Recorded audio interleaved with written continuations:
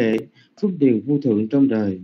Nguyện cầu uy đức Phật bảo, nguyện cầu uy đức Pháp bảo, nguyện cầu uy đức Tăng bảo. Xin tam bảo gia hộ những hiện tượng bị số nghịch duyên, trở ngại tại điều mang viếng. Nguyện muôn loài chúng sanh, người khổ sinh hết khổ, người sợ hãi, người sầu hết sầu bi, biết cho với niềm tin, biết hộ trì giới hạnh, biết lạc trú trong thiền chư thiên đã vân tập xin tùy hỷ phước lành được các tường như ý rồi phản hồi thiên xứ chư toàn giác đại lực chư độc giác đại lực thinh phân giác đại lực nguyện tổng trì uy đức cầu phúc lành phát sinh khi tôi sanh thống lần thi, chúng con thành kính lần đại bạch tri ân đại đức tội tri. Bạch chư tôn đức kính thưa đại chúng bài học hôm nay Pali pháp cú tổng sông đối kệ số 15 duyên sự. Bài kệ này được đức phật thuyết tại chùa Veluvana thành Rajagaha do câu chuyện người đồ tể Chunda. ở Rajagaha có người đồ tể tên Chunda, làm nghề giết mổ heo suốt 50 năm. Những ngày cuối đời, đồ tể Chunda tinh thần hoảng loạn bò tới bò lui trên nền nhà. Kêu la lên trên xít như tiếng heo bị thọc huyết, làm kinh động cả xóm. Các vị tỳ kheo mỗi buổi sáng đi vào thành cho chá cá há để khất thực. Đi ngang qua nhà đồ tể chun đá. Nghe tiếng la hét, cứ ngỡ ông ta đang giết mèo. Đến ngày thứ bảy thì không nghe nữa. Các vị tỳ kheo về chùa bàn tán việc làm tàn ác của đồ tể chun đức phật mới nói với các vị tỳ kheo rằng, bảy ngày qua, các người đi qua nhà đồ tể chun đá, nghe tiếng la hét như con heo bị thật huyết. Đó là tiếng kêu la của đồ tể chun đá.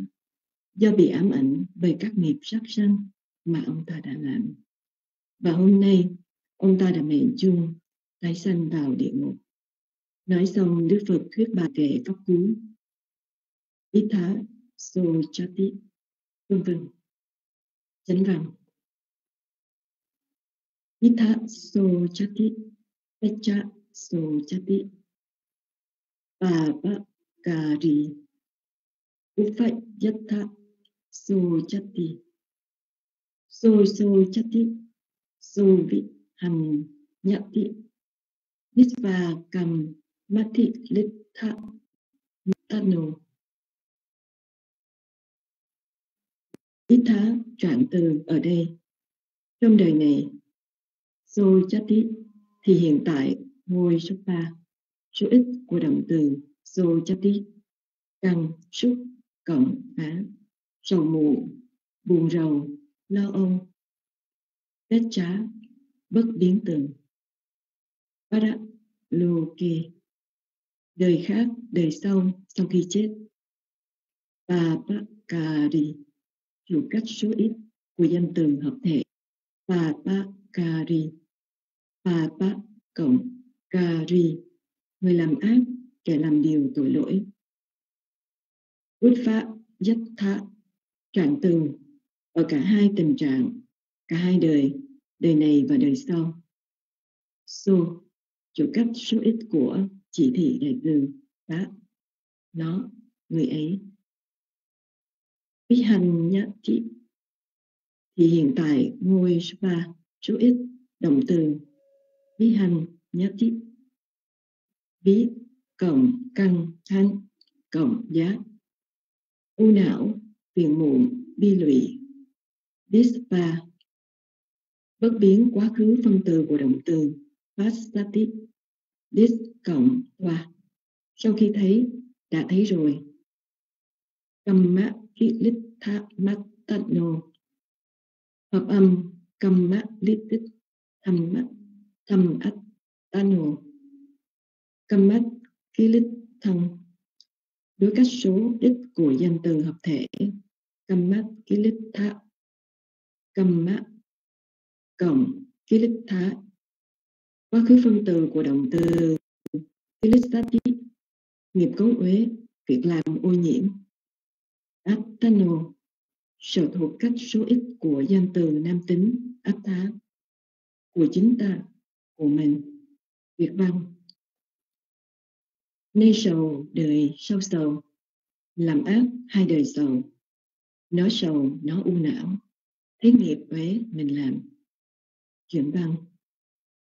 Ba ba cà đi vithaso chati. Pecha so chati upayat ta so jati atta no kilit thăng cầm vitva so jati vi hằng nhati kẻ làm áp sầu muộn đời này sầu muộn đời sau. Trong cả hai đời đều sầu muộn khi nhìn thấy việc làm ô nhiễm của mình, thì nó sầu muộn u não. Lý giải, người làm ác papakari là người làm ác hạnh về thân, làm ác hạnh về khẩu, làm ác hạnh về ý. Thân ác hạnh như sát sanh, trộm cướp, tà dâm. Khẩu ác hạnh như nói dối, nói chia rẽ, nói độc ác, nói vô ích. Ý ác hạnh như tham lam, sân hận, tà kiến. Việc ác được thực hiện bằng tâm bất thiện một trạng thái tâm tương ưng, căng tham, căng sơn và căng si. Do đó, hành động ác được gọi là nghiệp phiền não việc làm ô nhiễm tội lỗi. Kẻ làm ác không bao giờ được hoan hỷ hay hạnh phúc khi nó nghĩ lại hành động xấu xa đã làm. Trái lại, nó luôn mặc cảm tội lỗi, say rứt khi nhớ tới tội ác của mình. Như người vay nợ mua nhà, cửa, y phục, thức ăn khi nó sống trong ngôi nhà ấy, mặc y phục ấy ăn thức ăn ấy, vân vân. Mỗi khi nghĩ đến tiền nợ phải trả, nó không được vui vẻ, thoải mái. Trái lại, nồng đầu, khổ sở. Biên soạn giáo trình thì khao tuệ siêu.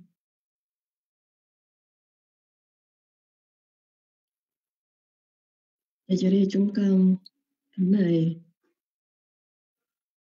đạo tràng lắng tâm thanh tịnh để nghe kệ thỉnh pháp sư. Hàng thiện tính mãi mê trần cảnh, nghiệp bốn bề nặng gánh lo toan. Ít khi tâm trí rành rang đạo phiền kết buộc tham còn nhiều. Nghe chánh pháp như người được ngọc, nghe pháp nhiều như phật ngợi khen. Phước sanh trí tuệ vô biên, đường đi sáng tỏ, nhân duyên rõ ràng thịnh pháp sư đăng đàn thuyết pháp. Vì nơi đây tâm đạo tính thành ngưỡng mong chánh pháp thịnh hành ngưỡng cầu thâm nhập đạo lành như lai. Giờ đây chúng con thành kính cùng thỉnh và đảnh lễ, ngài hòa thượng tuệ siêu. Từ bi. Nam mô bổn thầy giá.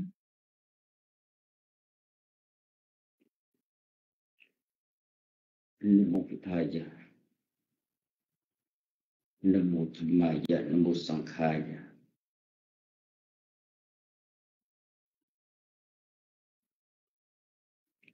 Kính lễ Đức Phật, kính lễ giáo pháp, kính lễ.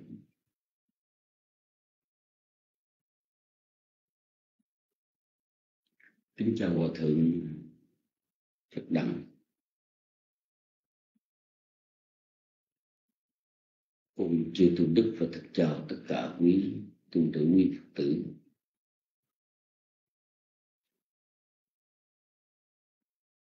Kính bạch quý ngài kính thưa quý vị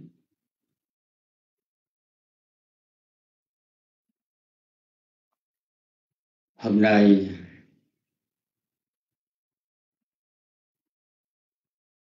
ngày học à, môn Bali Pháp Cú. Chúng ta tiếp tục phẩm Yamaka Waka phẩm sông đối bài kệ số 15 trong 20 bài kệ của phẩm sông đối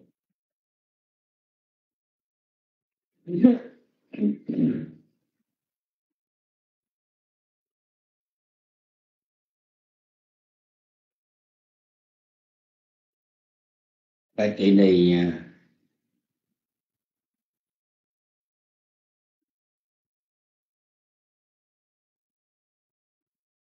đức phật thuyết.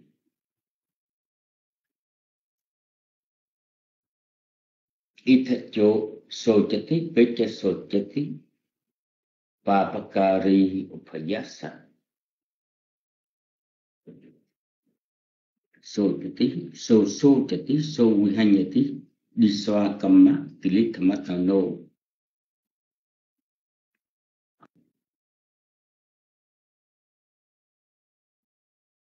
nay sầu, đời sau sầu làm ác hai đời sầu. Nó sầu, nó ưu não, thấy nghiệp huế, mình làm bài kệ này à, được chuyển ra phong xuôi để chúng ta học Bali chúng ta dịch dịch cho nó dễ. Chúng ta phải đưa cái chủ từ trong câu kệ ngôn lên trước. Là chữ Papakari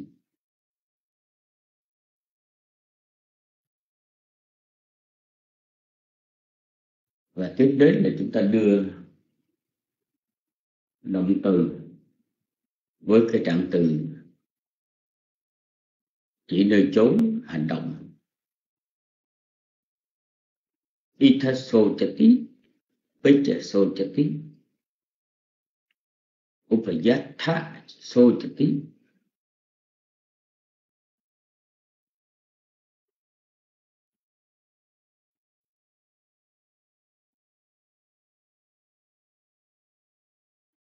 Babakari là kẻ làm ác. Ithasojati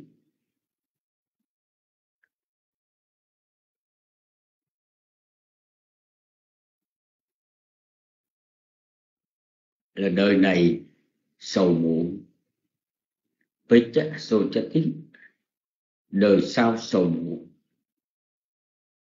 Cũng phải giác Upayatha Sojati trong cả hai đời đều sầu muộn. Atano Kilithang Kambang đi xoa. Sau khi nhìn thấy việc làm ô nhiễm của mình số số chất tí số vì hành nhật tí thì nó sầu muộn ương đảo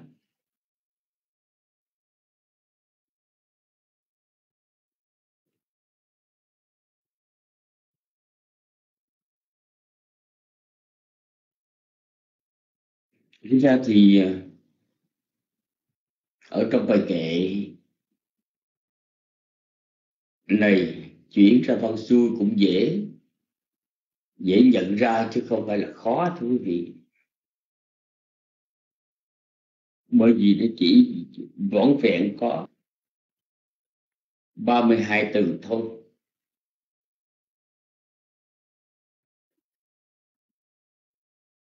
Nhưng ở trong bài kệ này, nó có ý nghĩa. Nói đến cái quả. Hiện tại, cái cảm thọ hiện tại, chúng ta sẽ có dịp học một bài kệ. Có ý nghĩa. Tức là cái bài thứ 10 17 nhưng mà bài thứ 17 đó, chúng ta sẽ học tới cũng vào cái ngày chủ nhật. Tuần sau, thì chúng ta sẽ nhận ra là Đức Phật đã dạy, cái người làm ác, họ bị khổ quả. Hai đời đời hiện tại, đời tương lai. Còn bây giờ, trong bài kệ này đó, Đức Phật đã thuyết theo cái ngữ cảnh một người đồ tể ở gần chùa Chitavana tên là Chunda. Ông ta đã sinh sống bằng cái nghề giết mổ, lợn. Hàng ngày để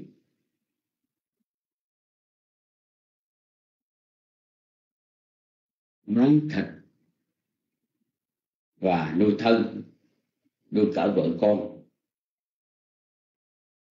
Hành nghề như vậy trong suốt 50 năm, hành động ác đó nó đã thâm nhập vào trong cái tư tưởng của ông ta. Đúng nỗi mà ông ta không làm sao ờ, quên được cái hình ảnh mà ông ta cầm con dao.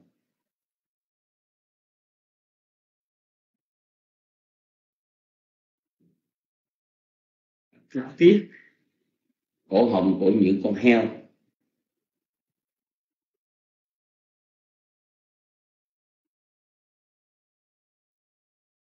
Và khi bọn ta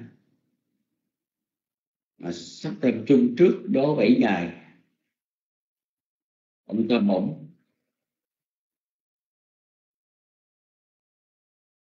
cảm thấy cái nỗi ám ảnh kinh hoàng về cái sự giết chóc nó khởi lên trong tư tưởng của ông ta. Ông ta tự bình bò lê lết. Nó lui ở dưới sàn nhà. Kêu gào. Cái tiếng kêu gào đó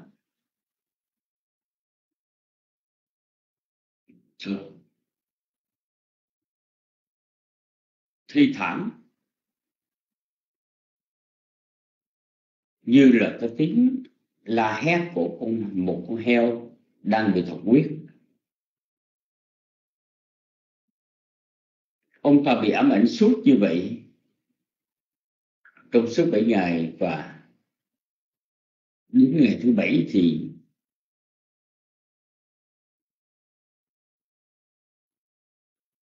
ông tôi mệnh chung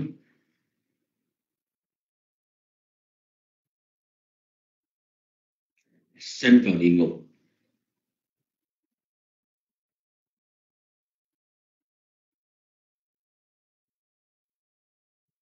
Nói về các vị tỳ kheo trong chùa chưa tông có đá.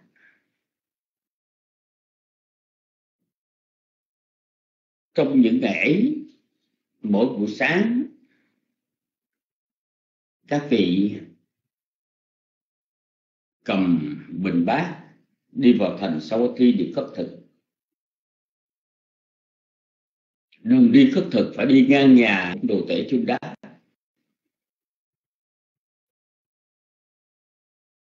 Khi đi, cũng nghe cái tiếng kêu la in ỏi. Và khi về cũng nghe cái tiếng kêu la in ỏi. Các vị tỳ kheo ngỡ rằng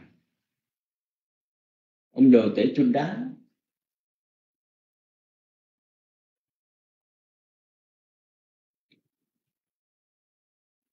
Thằng huyết những con heo. Nhưng cứ sau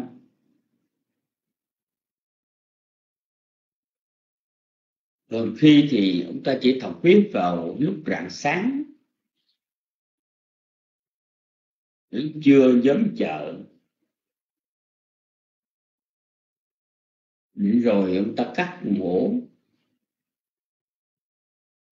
Lấy thịt đem ra chợ mà bán. Còn hôm nay thì dường như là ông ta đã giết rất nhiều con heo được kêu la suốt từ sáng cho đến trưa, các vị khất thực, đi qua đi lại, vẫn còn nghe thấy. Các vị tỳ kheo không ngờ rằng đó là tiếng kêu la của chính ông Trương Đắc. Và bảy ngày trôi qua, đến ngày cuối cùng thì các vị tỳ kheo không còn nghe cái tiếng kêu la nữa.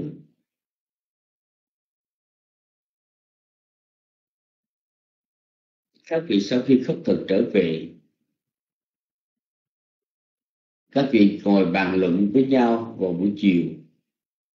Đến, đến cái ác nghiệp mà ông đồ tể chun đá đã tạo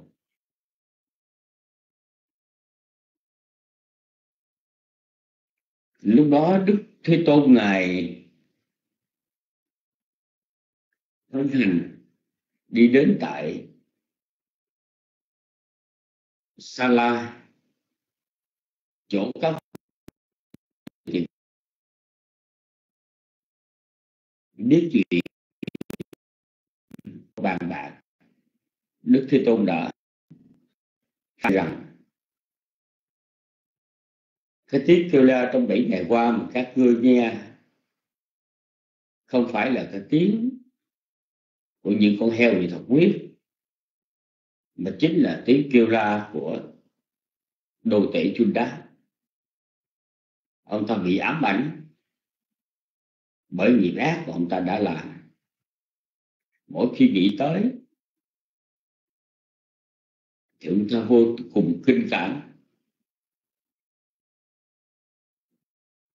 Và ông ta cảm thấy cổ họng của ông ta như là có bị ai đó đâm một mũi dao. Cho nên ông ta mới la hét như vậy. Bây giờ, hôm nay ông ta chết rồi, sanh xuống địa ngục rồi. Đức thế tôn là mở thuyết cái bài kệ trên khi nãy chúng tôi đã đọc cho quý vị nghe. Về cái phần thích văn đó thì à, ở đây trong lúc lúc này, Phật tử MC đã đọc. Và nếu mà quý vị có muốn học Bali từ vựng, từ pháp cú, thì chúng ta cứ vào trong trang web, website của chùa Pháp Luân. Và chúng ta lấy bài hay chúng ta ghi chép ra để chúng ta học.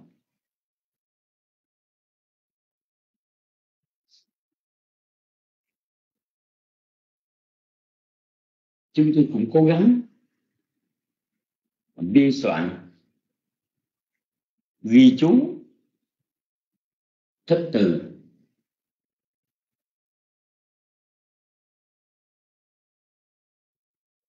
Những từ ngữ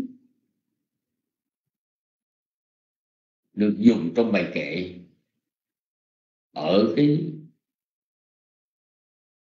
vai trò gì ở trong phong phạm. Cái nào là chủ từ, cái nào là túc từ, cái nào là động từ số ít hay số nhiều, chúng tôi đều ghi rõ.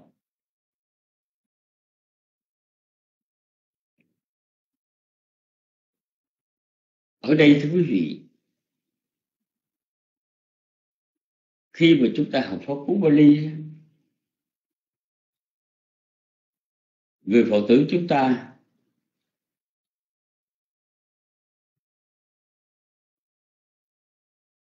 cũng không lắm cần thiết để chúng ta học từ vựng. Nếu như chúng ta không thì chúng ta học việc phân kệ hoặc là việc phân xuôi và học cái phần lý giải để chúng ta nắm được ý nghĩa của bài kệ mà chúng ta tăng thêm cái kiến thức Phật học của mình để chúng ta có việc có dịp để chúng ta tu tập. Ở đây thưa quý vị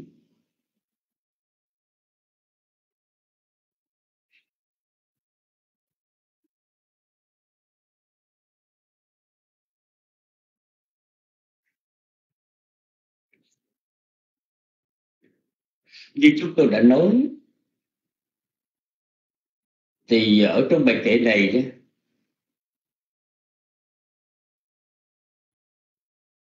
Đức Phật chỉ nhấn mạnh ở điểm là người làm ác như đồ tể chôn đá.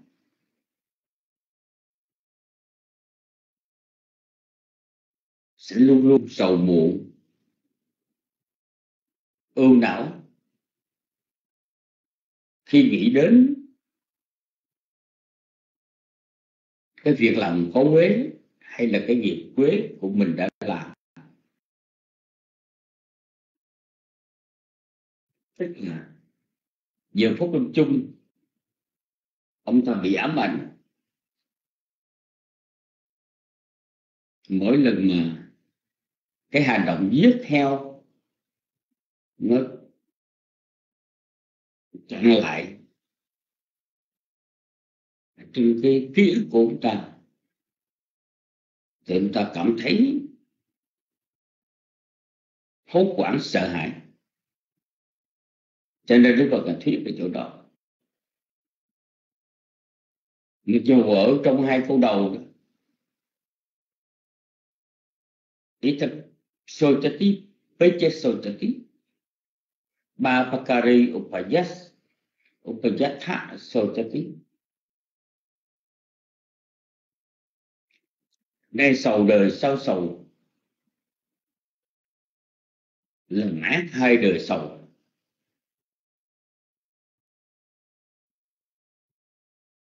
trong hai câu đầu thì Đức Phật ngài có đề cập đến cả hai trạng thái, đời này và đời sau. Nhưng mà ở câu thứ ba của bài kệ và câu thứ tư thì Đức Phật là chỉ nói đến cái khía cạnh mà kẻ làm ác bị ám ảnh bởi cái nghiệp ác mà nên đã làm. Chỉ vậy thôi. Bài kệ số 17 thì lúc bây giờ chúng ta sẽ nói rõ hơn. Ở đây thú vị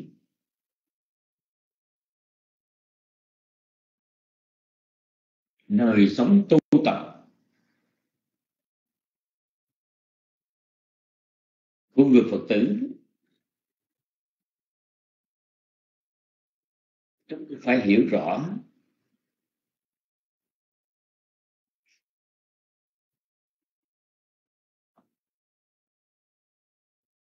Nghiệp và chi chi phối. Tư tưởng chúng ta để mà làm điều kiện tái sanh. Cái nghiệp đó, nó gồm có ba.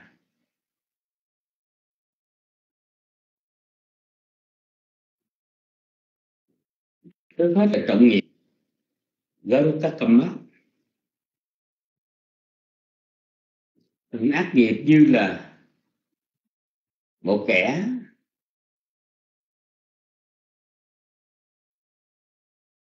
giả tâm. Giết chết cha mẹ. Giết chết thánh nhân a la hán gây thương chia rẽ tăng chúng. Với năm cái ác trọng nghiệp đó, thì nó bị ám ảnh.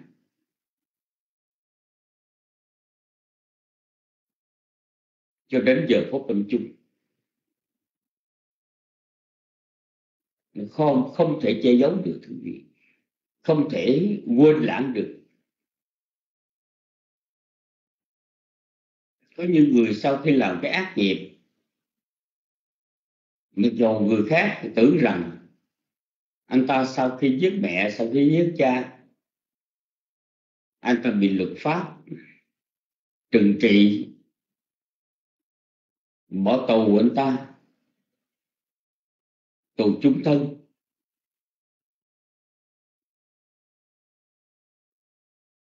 Hay là bị kết án tử hình? Như vậy là xong chuyện, nhưng không thú vị.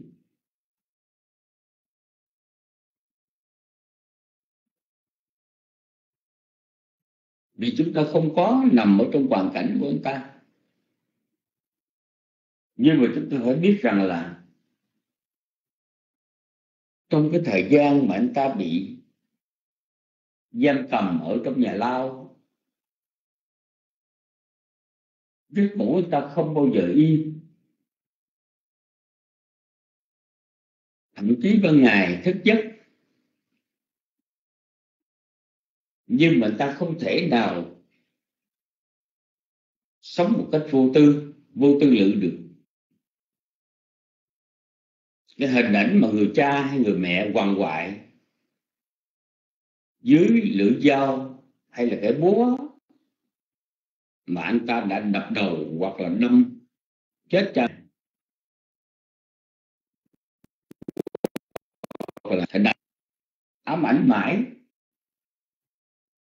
khiến cho anh ta bất an.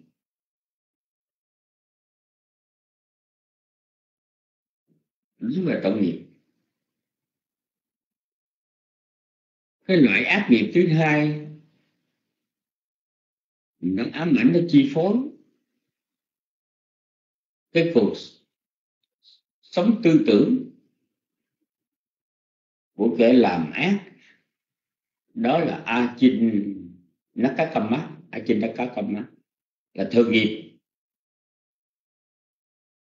Một người tạo ác nghiệp thường xuyên làm thành có thói quen là hoài như đồ tể xuống đá chẳng hạn.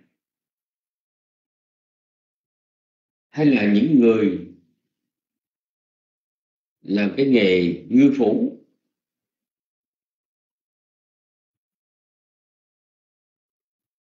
Câu cá, văn lưới.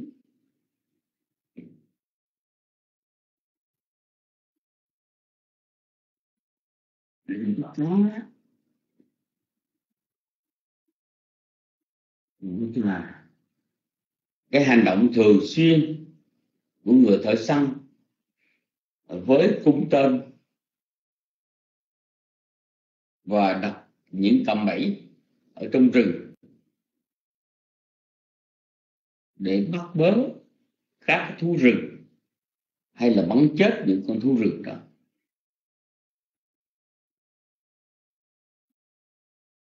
Mặc dù không phải là trọng nghiệp ác. Không phải trọng nghiệp ác. Như năm đại nghịch tội giết cha chết mẹ. Nhưng mà vì rằng cái hành động ác này được lặp đi lặp lại, lặp đi lặp lại nó trở thành cái quán, nó trở thành cái quán tính. Cho nên nếu như cuộc đời của người đó không có trọng ác việc chi phối, ám ảnh, thì những cái hành động mà thuộc về thường nghiệp đó, nó sẽ chi phối, nó sẽ chi phối anh ta. Trong giờ phút tận tử.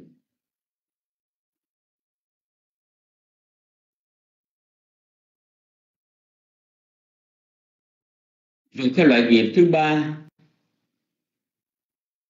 một, một kẻ làm ác sẽ bị ám ảnh trong giờ phút lâm chung đó. Nếu như trong bình nhật người đó không có tạo trọng nghiệp ác như giết cha giết mẹ vân vân và cũng không có làm cái việc ác gì nó thường xuyên nó thành cái tập quán. Nhưng mà người này thỉnh thoảng có làm điều ác thế thì trong giờ phút cận tử, nhất giờ hình ảnh của một cái hành động mà một lúc nào đó trong những ngày, những năm tháng đã qua mà anh ta làm, bây giờ nó cạn lại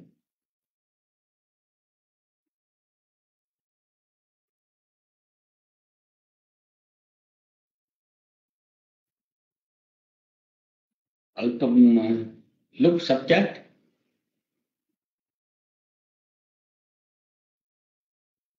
Thì cái đó nó cũng chi phối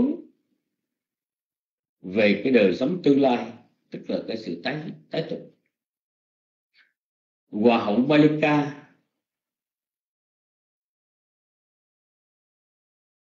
mặc dù là người có trí tuệ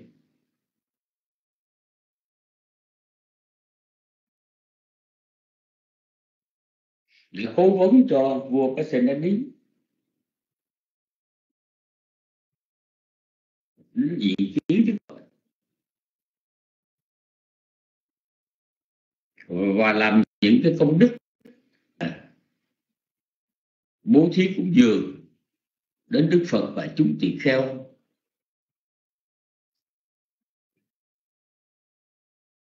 Một cách đặc biệt gọi là vua sông thí ở Samadana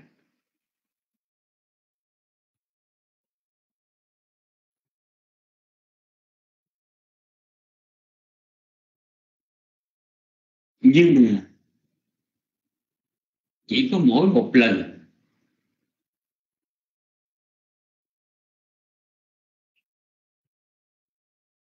Cũng đã rất lâu rồi.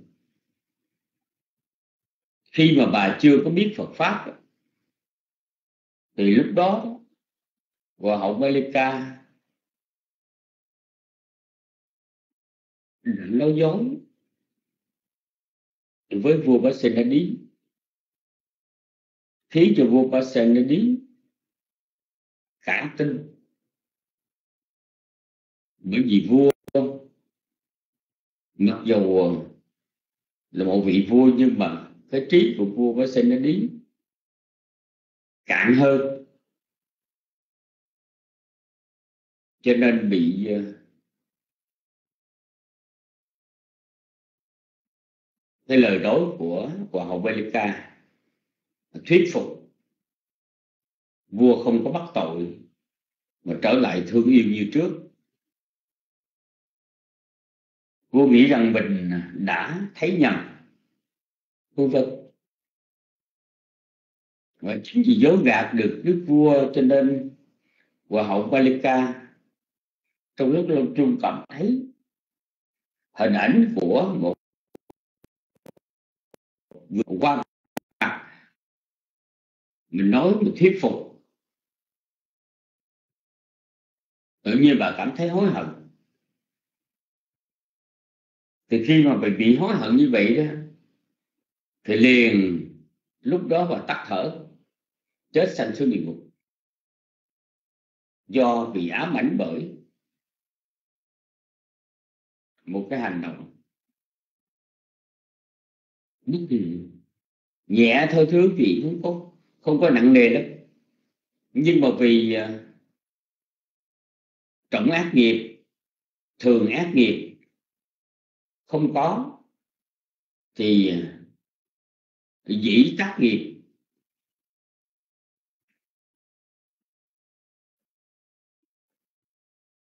nó sẽ ám ảnh.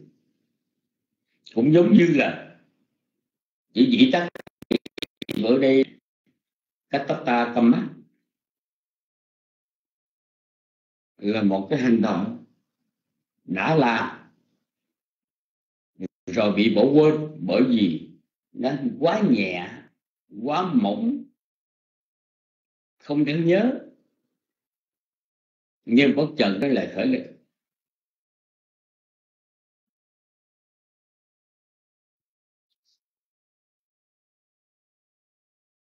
Cũng giống như ở trong một cái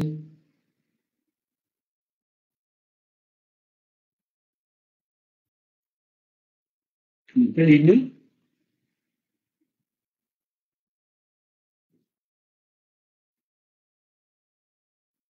Một cái ly nước trà.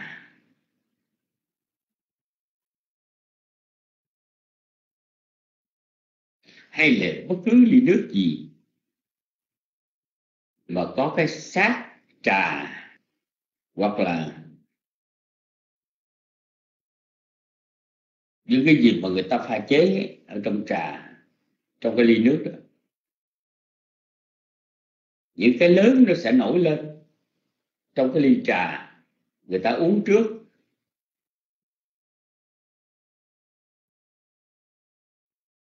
Nhưng mà khi dớt hết những cái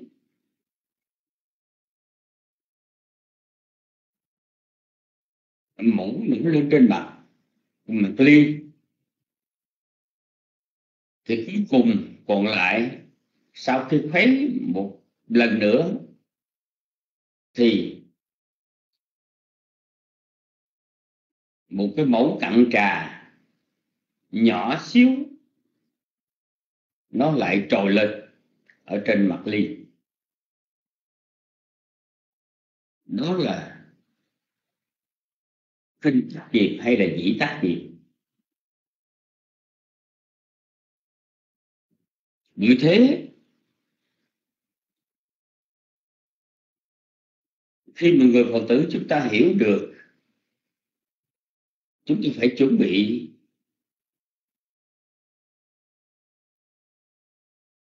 Giờ phút cận tử, lúc lâm chung, chớ để những cái bất thiện nghiệp mà nó trạng lại, nó chi phối. Nó nguy hiểm gì chúng ta lắm.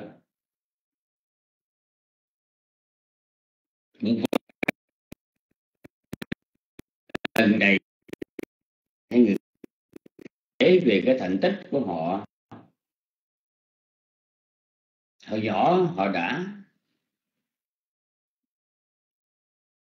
Hốt ổ chim như thế nào? Phá vỡ cái tổ ong như thế nào để chơi? Hoặc là hậu câu cá ra sao?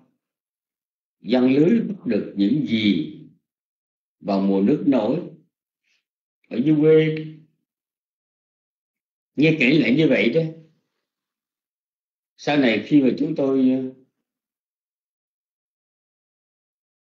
thuyết những cái thời pháp, chúng tôi có nhắc trong những thời pháp đó.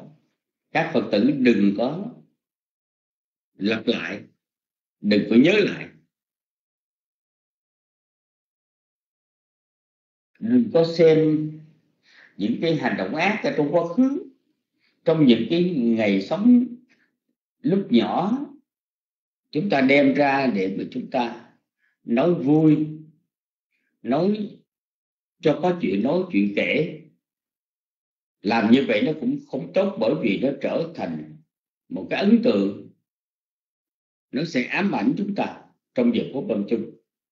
Bây giờ chúng ta chưa thấy, chưa sợ đâu. Nhưng mà đến lúc mà chúng ta sắp chết, chúng ta nằm đó đó, thì nó sẽ cạn lại, thưa quý vị. Quên thì cứ cho quên đi. Đừng cứ nhớ lại.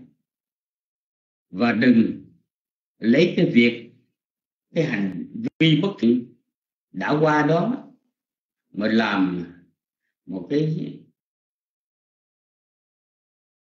Ừ, ừ. chúng ta đừng có lấy nó làm cái thành tích.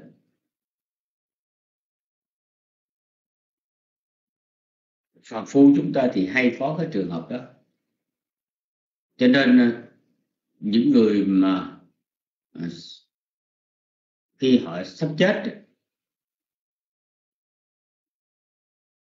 nhiều khi cũng khó lắm thú vị, không có được nhân duyên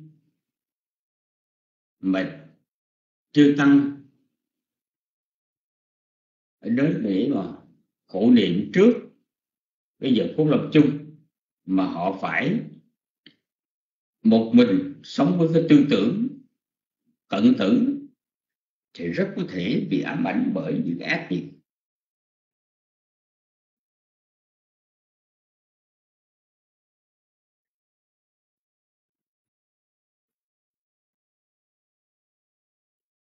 Vị tỳ kheo trong thời đức phật Kassapa vị tỳ kheo đó giữ giới luật rất là trong sạch, rất thanh tịnh. Một ngày kia, vị này quái quá gia, thuyền để những việc dòng lên cái miền trên. Và đến cái chỗ cần phải ghé, vì tỳ kheo xin được ghé. Đi lên bờ. Thì khi mà thuyền cập bến, vì tỳ kheo nó bước bước xuống thuyền.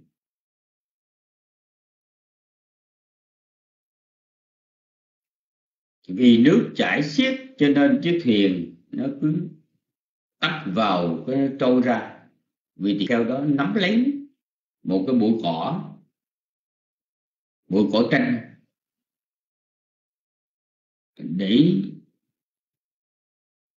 nếu chiếc thuyền lại mà bước xuống, nhưng không ngờ làm cho cái bụi cỏ tranh đó nó bị đứt đi.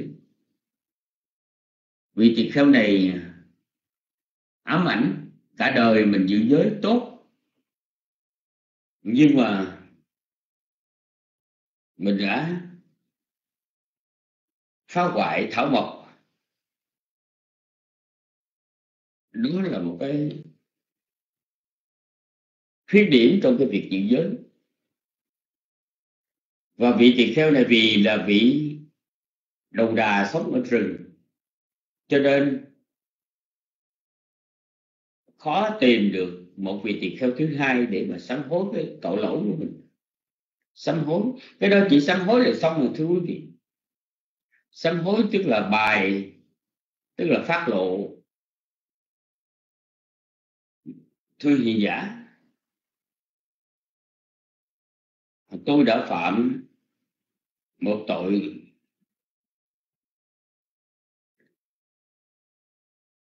phân đối trị do phá hoại thảo mộc. Tôi đã biết đó là một cái tội theo luật nai sinh.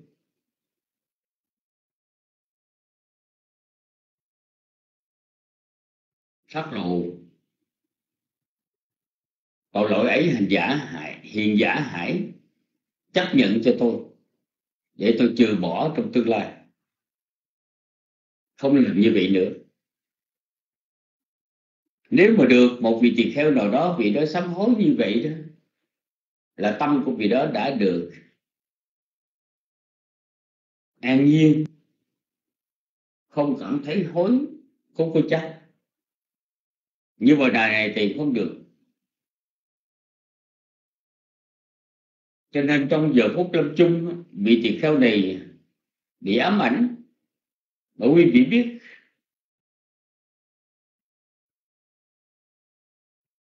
Cái tội mình phá hoại thở mộc, chỉ phạm cái tội nhẹ thôi thưa quý vị. Tội ba chết giá, chứ không phải là tội nặng. Nhưng mà vì cứ nhớ hoài nhớ hoài nhớ hoài vị đó mặc dù giữ, vì sao giữ giới trong sạch? Nhưng mà mỗi lần hành thiền, cứ nhớ hoài, hối hận hoài cái việc đó, nó trở thành cái cái thừa nghiệp. Cho nên ám ảnh cho tới lúc lâm chung bị chết sanh làm loài bằng sinh, tức là long vương ở tại cái khúc sông này. Gọi là Erapatha, long vương Erapatha.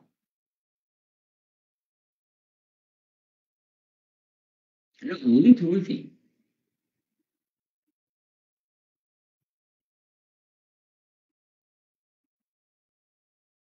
cho nên những cái ác tội nghiệp chúng ta làm. Bởi vì cái này nó nguy hiểm cho chúng ta. Phải sinh xuống địa ngục trong đời. Nhưng mà những cái ác nghiệp thường làm, hoặc là những cái bất thiện nghiệp mà thỉnh thoảng có làm, thì những cái đó chúng ta, nếu quên được thì cứ việc quên đi, cho nó đi vào dĩ vãng. Chừng nào cái quả nó chỗ xanh trong tương lai, chúng ta hiện tại chúng ta đang cố gắng chuẩn bị tốt cho tâm cận tử, tức người gần chết thì lúc chúng ta sắp làm chung, chuẩn bị tốt cho tâm cận tử. Thì chúng ta đừng đừng cố nhớ. Đừng để cho nó ám ảnh.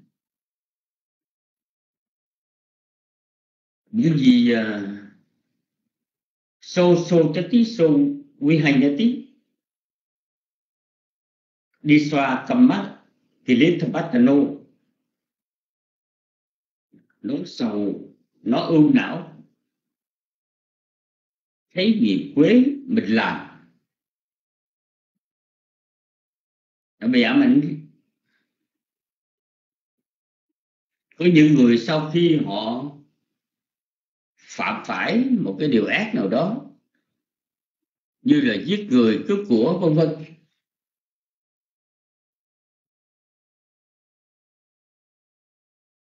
Họ đã lỡ tay giết người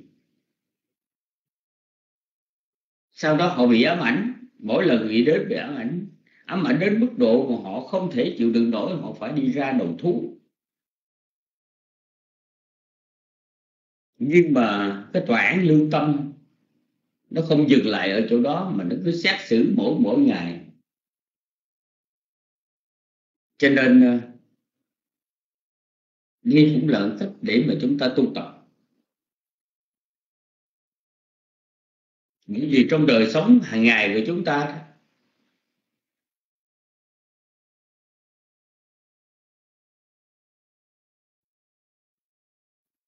cái chuyện mà chúng ta bỏ ác, làm lành, cái đó là một cái tiêu chí mà chúng ta phải làm trong lúc chúng ta tu tập. Và chúng ta sống hiện tại mà chúng ta phải lo nghĩ đến giờ phút lâm chung và ở tương lai. Cho nên chúng ta phải chuẩn bị tốt cái tư tưởng của mình. Chớ có để bị đã ám ảnh còn cái nghiệp như lừng thợ ràng thợ ờ, cái người đồ tể chú đá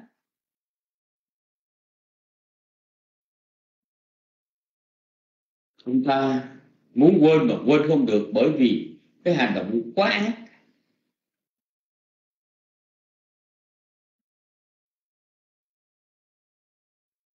Sát con heo mỗi ngày để lấy thịt mà bán. Thì cái hành động đó, đó được lặp đi lặp lại hoài hoài hoài hoài trong suốt 50 năm khiến cho người ta không thể nào quên được. Bởi vậy người phật tử chúng ta nhớ tại sao đức thầy dạy chúng ta phải tránh năm cái nghề tà mạng, hay là phải kiên cái sự sắc sanh, sự trầm cấp và tại vì những cái đó, nó có thể làm cho chúng ta bị ám ảnh. Còn những trường hợp nó nhẹ thôi. Thí dụ như bây giờ, chúng ta tu tập thì tốt đó.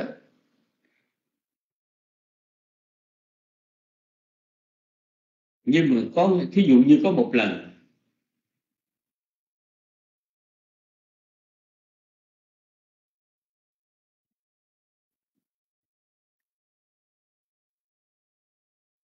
vị sư.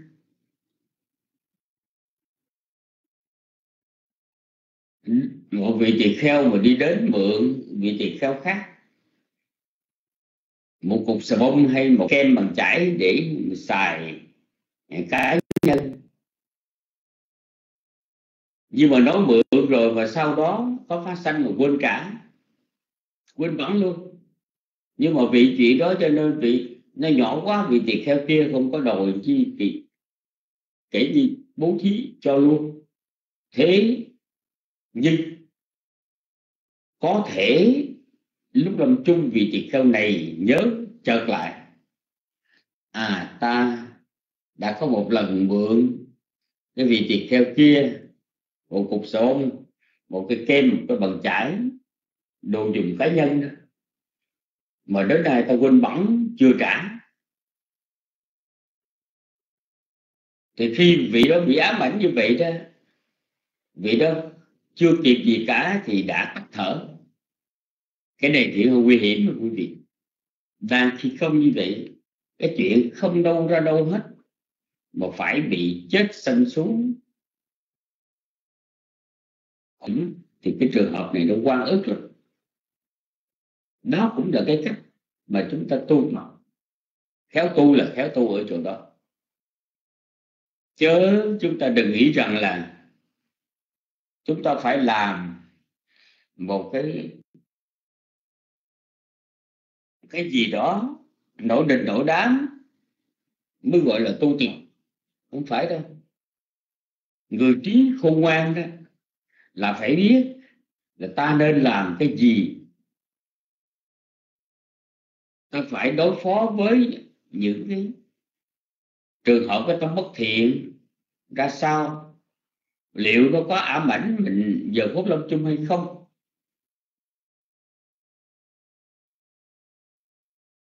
Những vị đức phật thầy dạy chúng ta năm điều bách chân quế khánh á a phiên hằng bách chân quế khánh á là phải thường xuyên quán tưởng. Hàng ngày vị xuất gia hay người tại gia phải thường xuyên kinh nghiệm phải có sự già không thoát có sự già. Ta phải có sự bệnh, không thoát có sự bệnh. Ta phải có sự chết, không thoát khỏi sự chết. Những từ cái sự kiêu mạn của tuổi trẻ, kiêu mạn của sức khỏe, diệt trừ cái sự kiêu mạn của sự sống rồi phải quán xét. Ta phải xa lìa. Ta phải sanh ly tử biệt với người thân người thương. Tất cả người thân người thương. Thì vậy để dẹp được cái tâm bị ái luyến, bị dính mắc. Giờ phút lâm chung mà một người, một cụ ông, cụ bà mà còn nuối tiếc, thương con thương cháu, đứa này đứa kia hay là nuối tiếc tài sản, đã chôn cất để dành, đã giấu cất để dành, mà chưa có kịp chỉ cho ai biết, thì bị ám ảnh cái đó đó thì cũng đưa đến cổ khổ chú vị.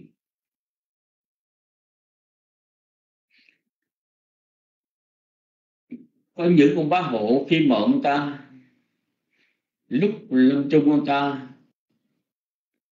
cứ nuối tiếc, cái số tài sản mà ông ta cất giấu ở dưới gầm giường. Ông ta chôn cất ở dưới. Ông ta chết sanh làm con chó trong nhà để mà giữ giữ của, để giữ của đó. Hoặc là một người họ chôn kho tàng ở trên bờ sông vắng vẻ khi bị dụ phúc lâm chung bị hối tiếc sanh lập của rắn ở gần đó để mà giữ của. Một chủ vườn mía giờ phúc lâm chung hối tiếc cái vườn mía của mình và sanh lập của sâu ở trong đó. Vì vị tỳ kheo có được bộ y mới. Cứ quyến luyến cái bộ y đó chết đột ngột sanh là con rệp ở trong cái chiếc y đó chiếc y cà sa. Vân thì những cái đó, đó là chúng ta phải biết là chúng ta phải đề phòng.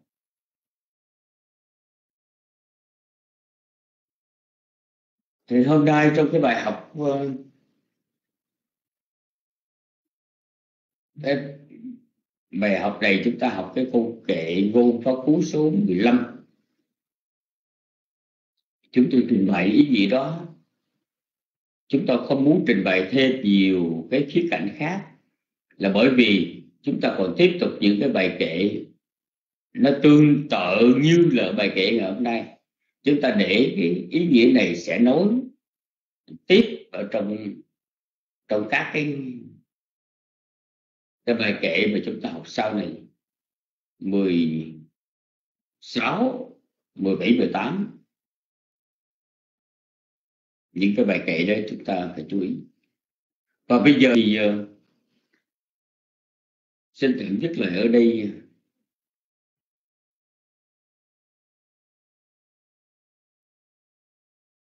Kính cung thỉnh và thượng giác đẳng có thể chia sẻ thêm với dạ, Phật tử hôm nay với cái bài kỹ ngôn phật và sau đó chúng tôi sẽ có phần à, pháp thoại à, pháp thảo luận. Xin cùng tính của thượng. Dạ, à, kính trình hòa thượng từ sư với uh, bài giảng vừa rồi. À, kính bạch chư tôn đức và thưa quý phật tử, theo lời của hòa thượng từ Siêu xin được uh, chừng ờ, uh, 10 phút để chia sẻ rồi sau đó để kính cung thỉnh quý ngài. Uh, tiếp tục bởi vì uh, hôm nay uh, ở tại chùa có đại lễ khánh đản về sắc nên uh, cũng uh, rất là bận. Chư tăng chư khách tăng sẽ đến trong vòng 20 phút nữa. Uh, bạch chư tôn đức và thưa quý phật tử. Ờ, một ở trong những điều mà khiến cho chúng ta sống an lạc hay không an lạc, đó là cái tầm nhìn của chúng ta về tương lai. Lấy ví dụ như, nếu chúng ta trong túi có tiền, nhưng mà đến một cái vùng đất lạ, và với chừng đó tiền chúng ta có thể sống được trong 10 bữa nửa tháng nhưng mà sau đó rồi sống như thế nào? Ở đâu chúng ta hoàn toàn không có cơ sở để suy nghĩ. Thì chắc chắn là uh, chúng ta sẽ hoang mang. Vì vậy tận cùng ở trong tâm thức của chúng ta luôn luôn có một cái tầm nhìn về tương lai. Đó là lý do tại sao con người uh, tích góp tài sản tại sao con người tin vào các cái hệ thống tôn giáo tín ngưỡng. Bởi vì có thể hiện tại người ta không cần đến tôn giáo tín ngưỡng. Có thể hiện tại người ta không cần cái số tiền để dành. Nhưng mà vấn đề là mai hậu. Đi đâu, về đâu, sống thế nào? Về điểm này thưa quý vị, ở trong kinh Kalama có một cái gợi ý mà Đức Phật dạy rằng một người mà hiểu được tham sân si là quế trượt dẫn đến quả khổ đau, thì người đó không làm và nghĩ tham vô sân vô si là tốt đẹp. Thì dù vị đó có nghĩ đến đời sau hay không nghĩ đến đời sau cũng an lạc. Phật ngài khuyên là ngay cả dù có nghĩ hay không nghĩ đến đời sau, thì chúng ta cũng nên nhìn vào giây phút hiện tại. Khi Đức Phật hỏi rằng tham sân si là thiện hay bất thiện, thì những người Kalama trả lời rằng Bạch Đức Thế Tôn là bất thiện và khi Đức Phật hỏi trở lại ngược lại là vô tham vô sân vô si là thiện hay bất thiện? Của Bạch đến xưa hùng là thiện. Thì cái thiện và cái bất thiện đó đó là một ý thức được thắp sáng trong hiện tại là một sự nhân rõ trong hiện tại. Và từ cái khởi điểm này chúng ta có hai cái hướng đi tương lai rất là rất là rõ ràng. Ở thưa quý vị ờ, trong cuộc đời này uh, nếu những gì mà chúng ta đang làm. Ví dụ như ngày hôm nay mình có một cái ờ, uh, nghề chùa mà quý phật tử làm việc là vất vả.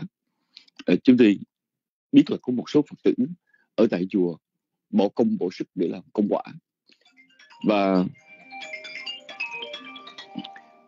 nhờ quý vị quan hỷ chờ chúng ta chút xíu nha.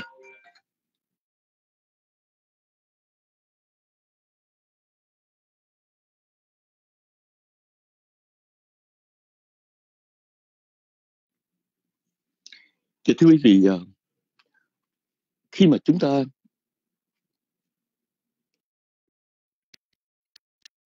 sống đó thì tương lai là hoàn toàn về tương lai đâu. Mà người ta nói tương lai được quyết định bởi hiện tại. Và khi nghĩ về tương lai đó mà chúng ta có cái cơ sở ngay trong hiện tại thì chúng ta thấy vững lòng hơn. Cũng giống như trong đời này quý vị thấy rằng tại sao những cái người mà có tiền đó đôi khi họ nghĩ về tương lai, họ ít có sợ hãi, ít có lo lắng hơn là người không có tiền. Đơn giản là lúc tối lửa tắt đèn mình có tiền cũng dễ xoay trở hơn. Thì cái hiện tại đó, nó cho chúng ta một cái điểm tựa. Hiện tại cho chúng ta một số vốn liếng. Và một cái người mà biết sống và hiểu cuộc sống không bao giờ dùng một cái hiện tại đen tối, dùng cái hiện tại nhiều cái hệ lụy, nhiều phiền muộn, mà nghĩ đến tương lai tốt đẹp không có. Mà chúng ta phải nghĩ rằng hiện tại hoặc giả là tâm mình tốt hoặc giả mình đang nỗ lực hoặc giả mình có được cái cái trí năng có cái tài năng thì chúng ta mới tin tưởng về tương lai được. Và bốn lý hiện dạy đó chính là điều thiện. Và do vậy ở trong bài kể này ờ, có ba điểm mà chúng ta nên lưu ý qua bài giảng của thượng tuệ siêu. Thứ nhất á, là hiện tại được an lạc nó rất là quan trọng để làm cái nền tảng cho tương lai của mình. Và hiện tại đó hiền thiện thì tương lai chắc hẳn là an lạc. Điểm thứ hai mà chúng ta nên để ý đó là những cái niềm hạnh phúc, niềm vui trong hiện tại nó không đơn giản chỉ mang cho chúng ta cái quả cái quả hạnh phúc trong tương lai mà nó còn tạo nên cái thương nghiệp. Thương nghiệp này quan trọng đây là cái một trong những cái điểm mà chúng ta cần để ý khi chúng ta đọc về cái duyên sự của bài kệ. Chúng Đá là một à, người đồ tể. Và do đồ tể nhiều năm trong cuộc đời chỉ là một việc là sát sanh. Và vì vậy đó khi sắp chết, sắp chết thì cái thương nghiệp đó nó là trở thành một cái nhân tố chính để đưa vào con đường khổ. Trong cuộc sống hàng ngày có những việc mà chúng ta nghĩ nó không có bình thường nó không có lớn chuyện thí dụ như đi đâu cũng vào lại bằng phật uh, thường nghe pháp hay hoặc giả là thấy chỗ nào là phước thì mình làm. Nhiều khi quý vị nghĩ rằng ô mình làm phước thì đâu có chuyện gì đâu lớn. Nhưng mà cái thói quen đó cái tập tính đó nó có một cái ảnh hưởng rất là rất là quan trọng đối với cái nghiệp phúc làm chung. Thật ra cái thương nghiệp đó, nó là một ở trong những những nghiệp có một cái sức mạnh rất là lớn có một ảnh hưởng rất là nhiều. Đó là chúng ta nói về chuyện gọi là uh, chúng ta gọi là là là là cái, cái,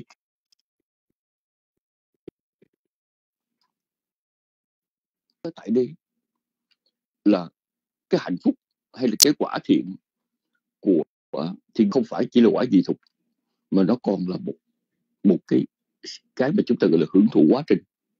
Một cái người làm thiện đúng nghĩa thì chưa cần cái cái quả gì thuộc cái cổ thì hiện tại chúng ta vẫn an lạc và vẫn an lạc. Ví dụ như là uh, chúng ta cố gắng uh, bố thí trì giới uh, vân vân những việc đó luôn luôn tạo cho chúng ta một cái một cái một cái ảnh hưởng rất là lớn ngay trong hiện tại.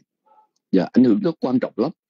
Và nên uh, uh, chúng tôi thường có tâm sự với quý phật tử là chúng tôi đặc biệt rất là cảm kích những phật tử mà thường xuyên vào nghe pháp mỗi ngày lắng tâm nghe pháp và nó cũng tạo thành một thường nghiệp. Mỗi tuần đi chùa mỗi ngày giới thọ bá quan thế giới.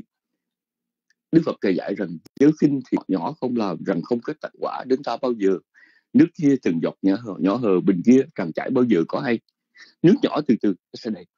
Thành ra cái thường nghiệp cũng là một ở trong những cái điểm khi nói đến nghiệp báo nhân quả mà chúng ta phải biết phải nghĩ đến thì thưa quý vị à, trong cái cuộc sống này à, ờ, có những thứ mà nó hơi xa lạ với chúng ta. À, chúng tôi lấy một ví dụ là vị nào mà mới vào trong lớp học như là lớp Pali Pháp Cú quý vị nghe những cái uh, những cái chữ những cái uh, từ vựng uh, Phật học về Phật bằng phản ngữ hay chỉ đọc đọc Pali quý vị nghe nó có gì xa lạ. Tại sao không nói tiếng Việt mà nói tiếng Pali? Nhưng mà chúng tôi biết rằng có một số chư tăng và Phật tử tu học lâu dài đó nghe quen rồi đó cái bài pháp nào mà có những cái chữ phạn có những câu phần cung đề cập đến thì vị đó cảm thấy có một điểm nhấn có một sự quan hỷ. Nó là một sự chuyển tiếp thứ gì? Ban đầu thì mình nghe hơi xa lạ lâu ngày mình nghe quen thuộc cũng giống như ngày xưa mà chúng ta chưa có quen với cái điện thoại uh, cầm tay đó. Giờ điện thoại uh, thông minh đó có nhiều người từ chối không tôi không muốn xài điện thoại ngày nào cũng phải sạc pin ngày đi đâu phải cầm ăn sao vì kỳ vậy nhưng mà chúng ta xài quen thì chúng ta thấy rằng nó có cái lợi của nó. Dạ nên con người chúng ta đó trong sự thích nghi xong trong sự thay đổi trong có một số điểm mà chúng ta nên đi và điều đó nó cho chúng ta được chư tôn đức và thưa quý phật tử đó.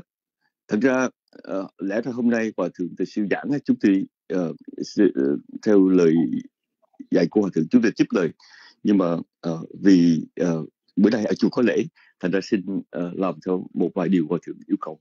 Và do vậy bây giờ để kính uh, cung thỉnh chư tôn đức con thì tiếp tục cho buổi bài giảng ngày hôm nay. Nam mô bích thầy nam mô thầy xin cảm ơn hòa thượng trách đồng à, biết hôm nay ở chùa pháp luân hòa thượng bận rộn Ờ, với cái việc lễ quê sắc ở chùa.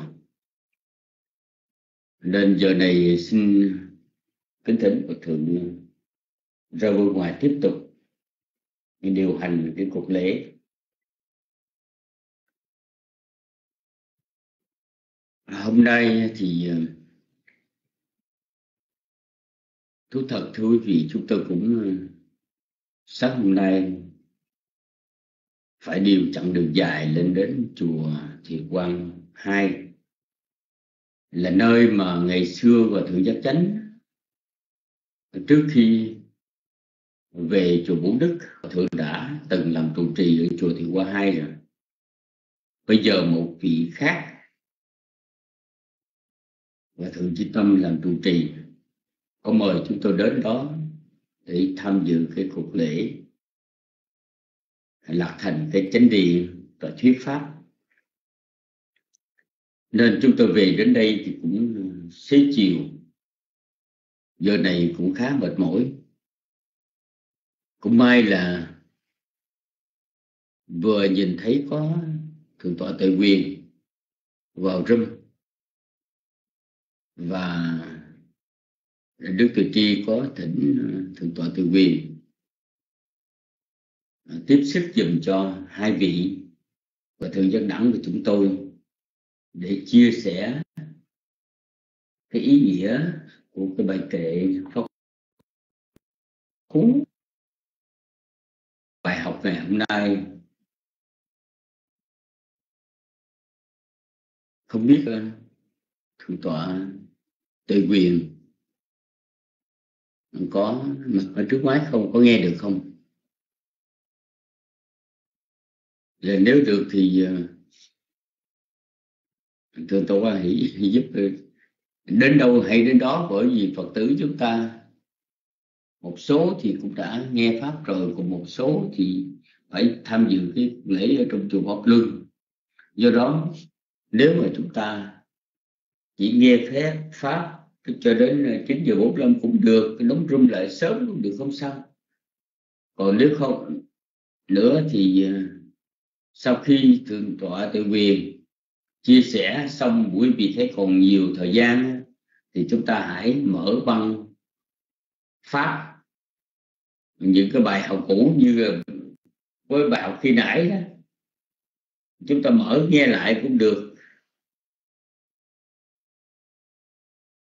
Bây giờ thì xin cũng thỉnh thượng tọa từ quyền à, cầm mic trong một cái thời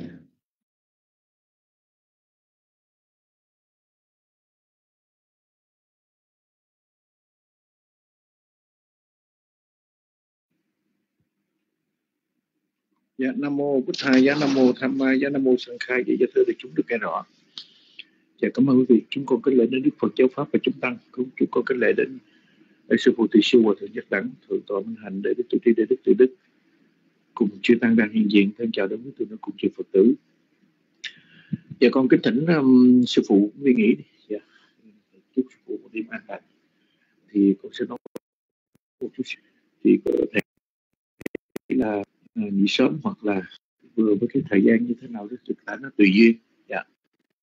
Thì con kính uh, sư phụ một đêm an lành cũng thỉnh uh, hòa thượng giới đẳng mọi việc sinh hoạt cho cái lễ quy sắc nó được diễn tiến tốt đẹp. Thì giờ này tức là giờ cao điểm của chương trình lễ. Cái duyên sự này thì chúng ta đã nghe sư phụ từ siêu đã đã nói rồi cái cái câu kệ pháp cụ số 10 giờ đồ tể chuôn đá. Đây có thể nói là một cái cái cái cái chuyện mà phải nói là rất là ác chúng ta đã tạo cái nghiệp như thế. Cắt một cái cái lưỡi của con con bò.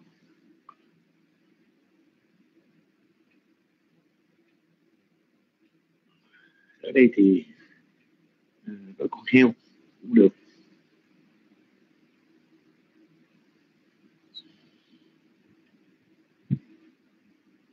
Thưa quý vị sống khổ, chết cũng khổ, kẻ ác hai đường khổ, đã khổ càng thêm khổ thế nghiệp mình đem ố. Ở trong cuộc đời này, sống hiền, chúng ta thấy còn còn bị khổ, chứ đừng có nói chi mà sống khổ thì rất là khổ. Sống mà làm ác, làm khổ thì nó rất là khổ không phải đơn giản mà tự nhiên mà họ bị khổ như vậy kính thưa quý vị.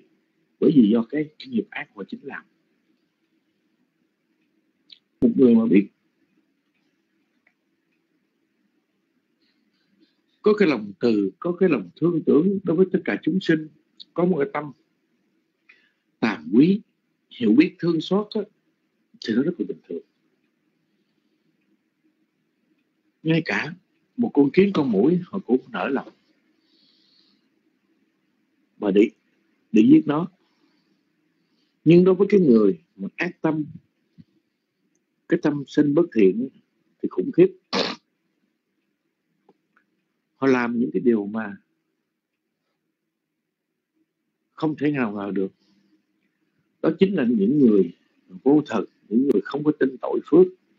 Chính vì không có tin tội phước, cho nên họ làm những cái điều ác, đau khổ sau khi chết họ phải đội xuống địa ngục như như đồ tể chôn đá mà chúng ta đã nghe qua cái duyên sự mà sư phụ siêu đã nói rồi.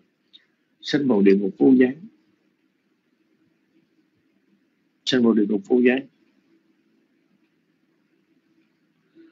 Có thể nói rằng họ tưởng đâu là chết là chấm dứt mọi chuyện sao? Không có đơn giản như vậy bàn tay rớm máu, bàn tay với đầy dẫy những điều tội lỗi.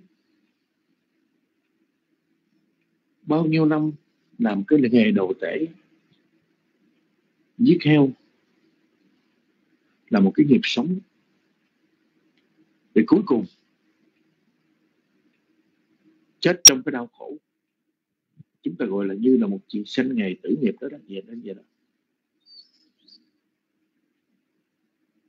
Mà cái nghiệp khổ này nó là phải nó theo nó theo chỉ là cái, như là một một cái kiếp đó quý vị một kiếp sinh ra rồi rồi trả quả đâu mà nó trả quả rất là rất là nhiều.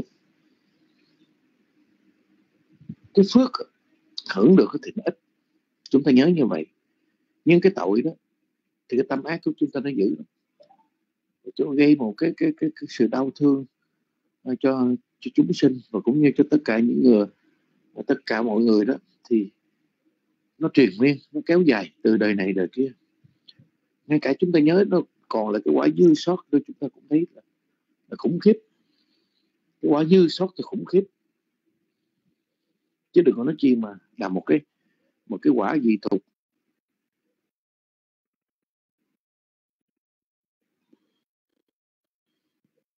Chi tiết theo cái sở hành của mình đã làm cái người ác á, thì tất cả mọi chuyện họ luôn luôn họ thấy máu họ hăng họ thấy máu họ thích. Cũng số người thấy máu họ sợ thấy cái việc giết giết sát họ rất là ngán họ rất là nghe cái này kính thưa quý vị cũng là do cái sự quân tập cái sự vô minh nó chi phối để tất cả phải đau khổ như vậy. Nếu như chúng ta phải nói rằng nếu như chúng ta có một sự hiểu biết về Phật pháp, chúng ta mới thấy không có tự nhiên mà làm những cái hành động ác xấu. Những cái hành động ác xấu đó, nó đã vốn từ tiền thân đã tác tạo, rồi nó giúp, nó xuống chúng ta đi. Quý vị cẩn thận hiện tại mình đang hiểu biết Phật pháp, đang có công đức, đang tạo được nhiều công đức, hay đang thực hành công đức, thì đây cũng là nhờ cái duyên tiền thân. Chúng ta đã có một chút ít gì đó để có một cái sự, để có một cái sự liên hệ, để có một cái sự ờ, nhân quả đối với với Phật pháp và đặc biệt tức là những cái điều kiện, những cái điều thiện, những cái điều lành thì chúng ta mới làm được. Chứ còn sanh ra, là chúng ta chấp tài sản, sanh ra chúng ta chấp hờn, sanh ra chúng ta chấp ngã thì điều điều đau khổ sẽ tới. Đó là một sự khủng khiếp đối với mình. Cho nên vì vậy, cái sự tu ở đây nó cần thiết. Khi chúng ta biết ý thức, chúng ta đang có những cái điều kiện thuận chúng ta biết ý thức chúng ta đang có những cái điều mà kiện tốt. Cái điều kiện tốt đó nó không phải là một cái chuyện mà à, như là chúng ta giàu có tiền của tài sản gì mà đây chính chúng ta thân chúng ta không bệnh hoạn. Chúng ta nuôi cái mạng sống chúng ta bằng cái chánh mạng. Chúng ta có điều kiện có thể vay nợ mới cho vay nợ mới có thể trả nợ cũ. Để độ hố sâu có thể chung của để dành. Đây là những cái điều mà chúng ta rất là rất là. Cho nên vì vậy sự tu tập đó, nó là một vấn đề hết sức là cần thiết. Ai cũng như ai kính thưa quý vị chúng ta sống để thừa hưởng cái hậu bao nghiệp của đời trước những gì chúng ta đang sống ở tại đây và chúng ta đang có đó. Tức là chúng ta ăn của thừa, của đời trước. Nếu như chúng ta biết tạo tác để cho mình có cái tư lương là hành trang ở trong tương lai, thì nó là một chuyện rất là tốt đẹp. Ngược lại, nếu như chúng ta làm các công đức ác xấu, thì nó cũng là cái hành trang của chúng ta mang theo một là hành trang của thiện, hành trang của ác và kinh văn cũng đã dạy Punya Nippanalo Kasmin và Tita Tipani năng. Chỉ có việc lành, chỉ có phước báo mới là nơi nương nhờ của tất cả chúng ta ở đời sau. Nghiệp lành và phước báo này không phải tự tạo cái không phải tự trên đời nó rơi xuống. Cái công đức đó không phải tự trên đời nó rơi xuống, mà chính là những thiện tâm, những thiện sự đó, những kết quả đó là do chúng ta đã có đã có gieo trồng.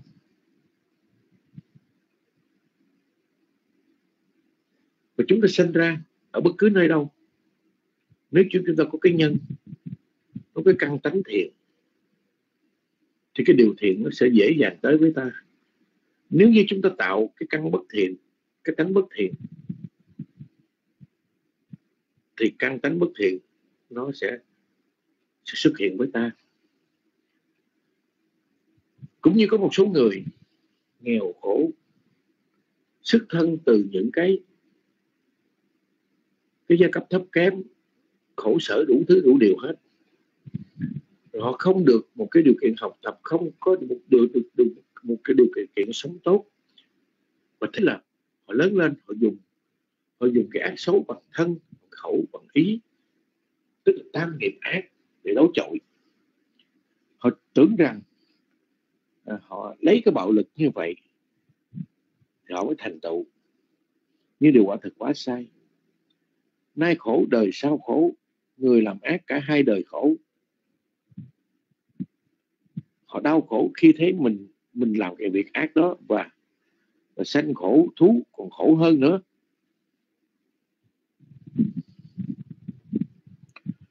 Trong cuộc đời này chúng ta có thể làm được tất cả mọi việc thiện ác. Vì vậy cũng chính chúng ta chịu trách nhiệm với chính cái nghiệp riêng của mình, mà không ai giống ai không ai đồng đẳng với ai. Nó dị biệt khác khác nhau hết. Chúng cha mẹ chúng tôi không giống, người thân không giống với chúng tôi. Cũng như quý vị cũng vậy, quý vị không giống với cha mẹ của mình. Cha mẹ không giống quý vị quý vị cũng không giống với anh em mình. Đó là chính là sở tâm, sở tánh hay nói một cách gần kề hơn, đó tức là không thể giống cái căn thiện, căn bất thiện. Đây là cái nghiệp quả nó dị biệt mà na na vô tức là khác khác nhau. Chúng sinh là thừa tự của nghiệp nghiệp là thai tạng, nghiệp là quyến thuộc, nghiệp là của riêng của tất cả mọi người đeo mang và gắn chặt với chính nó. Gắn chặt với chính nó không ai có thể làm tốt được cho mình. Và cũng không ai có thể gây xấu cho mình. Không có một thần linh thượng đế nào ban phước giáng họa cho ta. Mà chính do chúng ta tự ban phước hay tự giáng họa cho mình. Cái điều này Phật pháp sáng ngời cho đó. Không có ý lại không có nghĩ tha nhân. Chúng ta đừng có nghĩ rằng thần linh sẽ hại chúng ta hay hoặc là Phật trời sẽ phạt chúng ta hoặc người này người kia sẽ mang đến, đến cho ta nhiều đau khổ và người khác mang đến cho ta nhiều hạnh phúc. Sự ta ra cái hạnh phúc với cái đau khổ đó chính là chỉ là một cái nhân tác động ngay trong cái hiện kiếp này. Nhưng cái phước và cái nghiệp là trước nhất phải do chính mình cho chính mình đã tạo.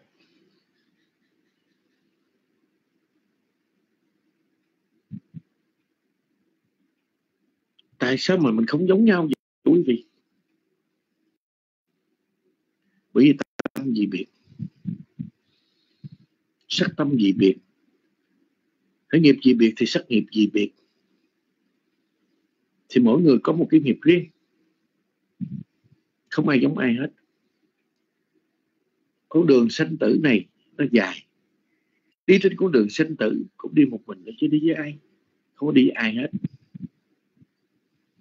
Con đường sinh tử đó, mình ghét, mình thương, mình oán, mình hận, mình mình buồn, mình mình mình với tất cả mọi thứ chỉ một mình mình. Mình thừa tự với trách nghiệp của mình mình chịu đối với trách nhiệm của mình cũng như ông chủ, đồ tể chuôn đá này, ông phải chịu trách nhiệm với chính cái cái hành động ác của ông.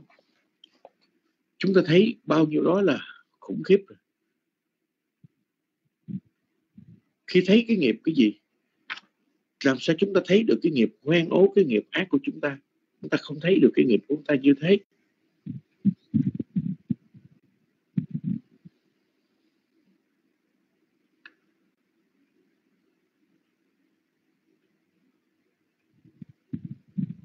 Nếu như chúng ta có cái sự tu tập thì là một chuyện khác.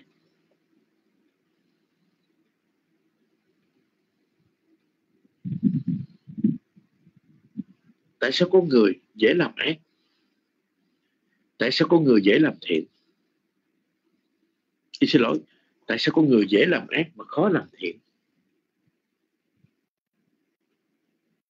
Cũng chính là chấp thủ cũng chính là vô minh.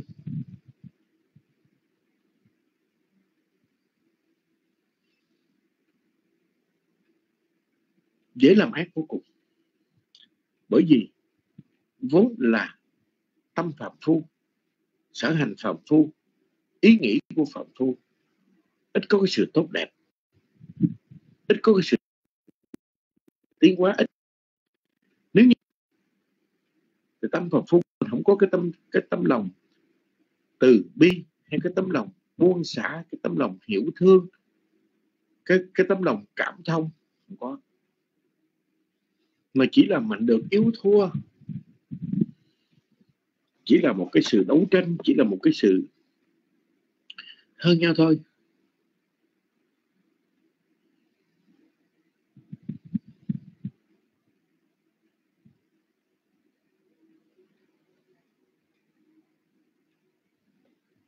Chúng ta thấy cái ông chun đá này.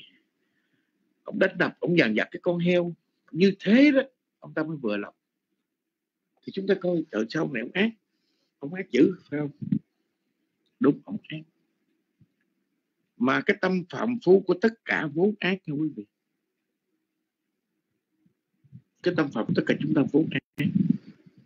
Nếu như chúng ta có cái sự tu tập, thì chúng ta giảm ác được chứ đừng mình nghĩ rằng ổng ác, mà mình hiền chưa chắc.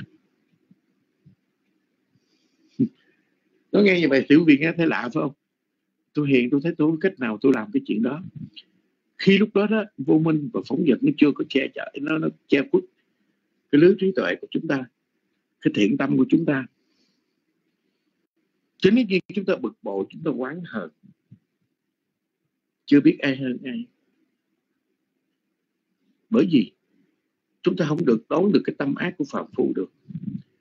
Khi cái sân tâm này khởi lên, khi cái ganh tị, khi cái tật đố khởi sanh, khi cái bực bội, khi cái quán hờn, hay khi cái chấp thủ nó sanh ra, thì kính thưa quý vị, không có thuốc chữa, khó có thuốc chữa lắm. Bởi vì khi nãy chúng tôi nó cần lắm cần lắm cái gì? Cái nhân lành của tiền thân là chúng ta biết hạ đau lưu tình. Chúng ta có lòng thừa lòng từ, lòng bi. Chúng ta biết biết dơ cao đến khẽ quả thật như vậy đó. Bây giờ mọi việc gì nó đã nó đã tới rồi, nó đã nó đã qua rồi, nó đã đã bị rồi. Thì chúng ta phải hiểu rằng, hiểu và như thế đi. Bây giờ chúng ta có một người đó đã lỡ làm, thì chúng ta cũng phải biết biết biết cảm thông như chính họ. Chứ không phải là chúng ta cứ cứ tự cho rằng mình mình đúng mình đúng mình đúng mình đúng không? Rồi đến đi gây đến cái cãi cự. Như chúng ta biết khi mà chúng ta à, đi trên đường có cái sự cạ quẹt có cái sự đụng chạm. Khi mà chúng ta di chuyển á, thì lẽ ra nếu một người bình tĩnh với nhau đó thì rất là dễ. Còn nếu không bình tĩnh đó, thì lúc đó cái sự bực tức cái sự oán hờn cái sự mạnh được yếu thua cãi cự nhau không? Mà thường chúng sinh như vậy. Nếu mình có lỗi thì mình giấu lỗi. Mình mình lướt đi hay hoặc là mình hủy biện hay mình làm như là mình không bị người khác bị nhưng sự thật chính là mình có lỗi. Đó cũng là một điều sai. Chúng ta chỉ chỉ lấy thịt đè người mạnh được yếu thua thôi thì đây chính là bằng những cái nhân ác bằng những cái cái sự suy nghĩ ác đó, đó nó, nó tụ thành cho chính chúng ta. Không bao giờ nhận được cái chân lý đúng. Vì vậy cho nên khi chúng ta biết à bình tĩnh để phân kỳ để phân ly thì mọi chuyện nó rất là bình thường. Nó rất là có thể vượt qua. Cái nghiệp quả này nó là một cái tố chúng ta rất dễ phải, rất dễ dàng. Rơi vào bẫy ma, rất dễ dàng rơi vào cái cái sự sai lầm. Mà đi từ cái sự sai lầm này tới cái sự sai lầm khác. Khi này chúng tôi nói đó, chúng ta xuất thân ra trong khổ như là đức phật nói như là cái gì? Như là người từ bóng tối. Thay vì chúng ta đi đến chỗ sáng, chúng ta không đi từ bốn chỗ tối chúng ta đi đến chỗ tối chỗ tối nữa. Như là cái ông đồ tể này sinh ra đã khổ sở làm cái nghề à, giết chóc này mà ông ta lại đã là một cái nghề ác rồi lại cực ác nữa. À, tức là phải làm cho cái con con vật nó đau khổ làm cho heo nó đau khổ thì là gây thêm cái tội ác nữa.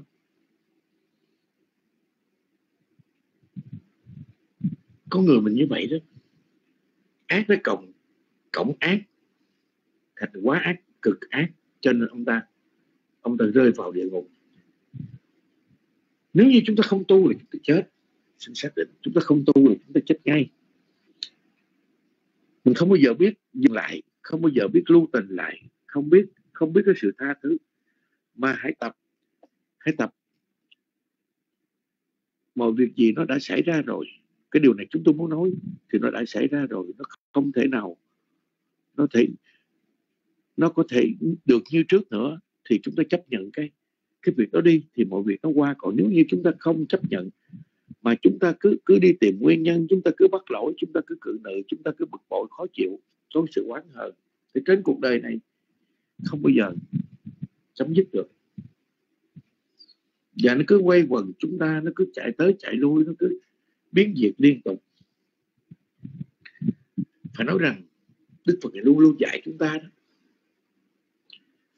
một cái ý niệm á, biết chấp nhận cái nghiệp chứ không trốn tránh cái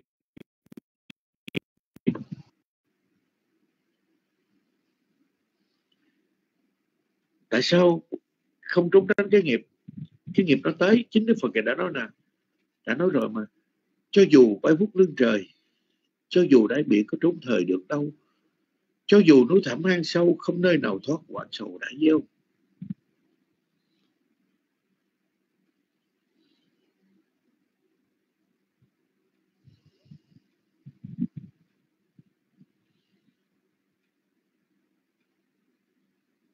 Khi chúng ta đã tới cái nghiệp của mình rồi chạy trời không khỏi nắng. Đừng có cho rằng mình hay lắm mà mình tốt lắm mà, mình an toàn lắm mà, chưa đâu. Thật ra cái mạng sống, cái việc làm hành động, tất cả những gì chúng ta có trên cuộc đời này, nó rất dễ dàng mất. Có thì nó khó có, mà mất thì rất là dễ. Cái đó là sự thật vậy và kính thưa quý vị, khi chúng ta biết chúng ta là thiếu cái điều kiện. Mà chúng ta biết trân quý chúng ta giữ một cái điều kiện tốt để chúng ta phát huy lên cái tốt. Chúng ta biết vốn chúng ta là một chúng sinh trầm luân sanh tử đau khổ để nhiều cái sự hệ lụy đau khổ cho mình đau khổ cho người thời ta không bao giờ làm cho, cho người như thế. Hay chúng ta biết quý trọng hay chúng ta biết có sự che chắn thì chúng ta mới vượt qua sở dĩ mà chúng ta không thấy tiền thân, quý vị tại sao chúng ta thấy tiền thân? Nếu chúng ta biết được tiền thân chúng ta thì không có Phật ra đời, chúng ta cũng tu luôn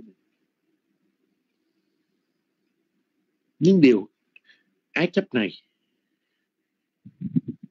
cái tham làm nhân, tham làm duyên, vô minh làm làm nhân, ái làm duyên, nó che khuất chúng ta chúng ta không nhớ sinh ra rồi hồi đó trong thai bào mẹ rồi xong rồi sinh ra cứ uống sữa mẹ rồi cứ lên lên mắt thấy tai nghe mỗi người lưỡi nếm hết nhớ cái gì không nhớ gì tiền thân hết trơn à, vì vậy cho nên đó, à, rồi bây giờ thì cứ cứ vừa lòng thì thích mà không vừa lòng thì bực bội mất mát á, thì tiếc nuối. Rồi khởi lên cái tâm ganh tị cái tâm quan chấp ngã tự cho mình lại là dỗi tự cho mình. Tự, tự mình rất rất thứ nhiều chuyện. Bởi vì chúng sinh mới đau khổ. Chứ nếu mình biết, mình biết tiền thân mình, mình thiếu phước thì bây giờ mình biết tu phước biết cho cái ác nghiệp mình giữa chảo dầu mình ở hoặc mình ở bị trên thớt ở địa ngục thì tự nhiên không có Phật ra đời mình cũng thấy sợ mình cũng làm ác nữa nhưng chính chúng sinh do không biết không nhớ do vô minh đã che khuất cho nên đau khổ như thế. Cái điều này đặc biệt lắm quý vị. Nếu như chúng ta tu thì đây chính là một cách tu như vậy đó. Cái tu á, để chúng ta tạo cái duyên lành. Chứ chúng ta không phải là chúng ta để chúng ta có phước để chúng ta hưởng phước mà chính là tu để chúng ta tạo cái nhân lành cái duyên lành. Để kết tụ về sau chúng ta. Nó đơn giản nó nó nó, nó nhẹ nhàng. Hơn là phải dính mắc hơn là phải phải nhiều cái cái khổ đau sinh tử. Đó là thật vậy đó.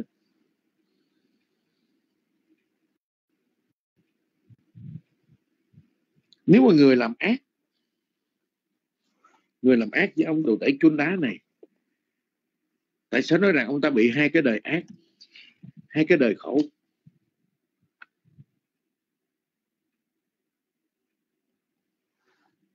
Hay là nó sống khổ chết khổ, cả hai đường khổ, đã khổ càng khổ thêm. Để đây đến khi khi biết cái nghiệp mình mình đã đã làm khổ. Mình dốt nát, mình dở, mình thấy cả hai điều đó. Nhưng nếu mình không cố gắng, mình xóa đi cái dốt của mình mình xóa đi cái dở của mình, mà mình lấp lố, mình che khuất tự cho mình là hay, thì đau khổ đời này, đau khổ đời sau có người ít có biết chấp nhận cái gì, cái sự thật. Cái sự thật kém khiếm khuyết của mình.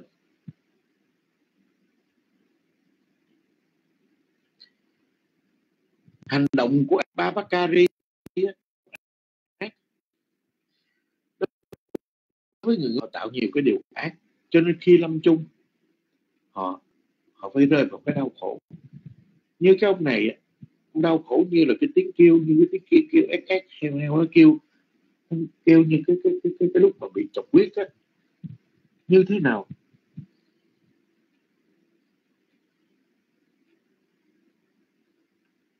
Thì giờ khúc cận tử cái nghiệp ác nó hiện lên ngay lúc đó. Và do cái nghiệp ác á cũng như do cái sự tác động của cái nghiệp ác này nó phát ra những âm thanh y như là con heo. Nó đang bị bị thọc quyết để để giết chết.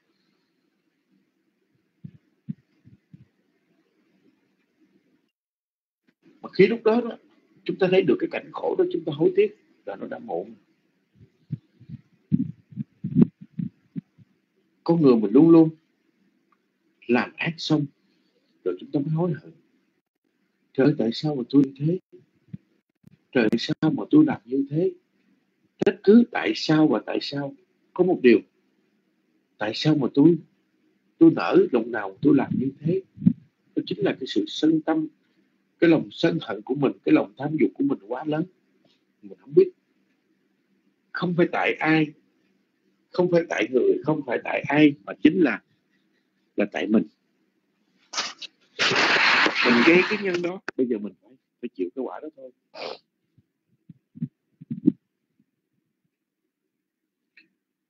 Đồ tể chuẩn đá này, khổ ở cuộc đời, nhọc nhằn, lam lú. Và khổ ở cái đời thứ hai là đọa xứ địa ngục và sinh nghề tử nghiệp.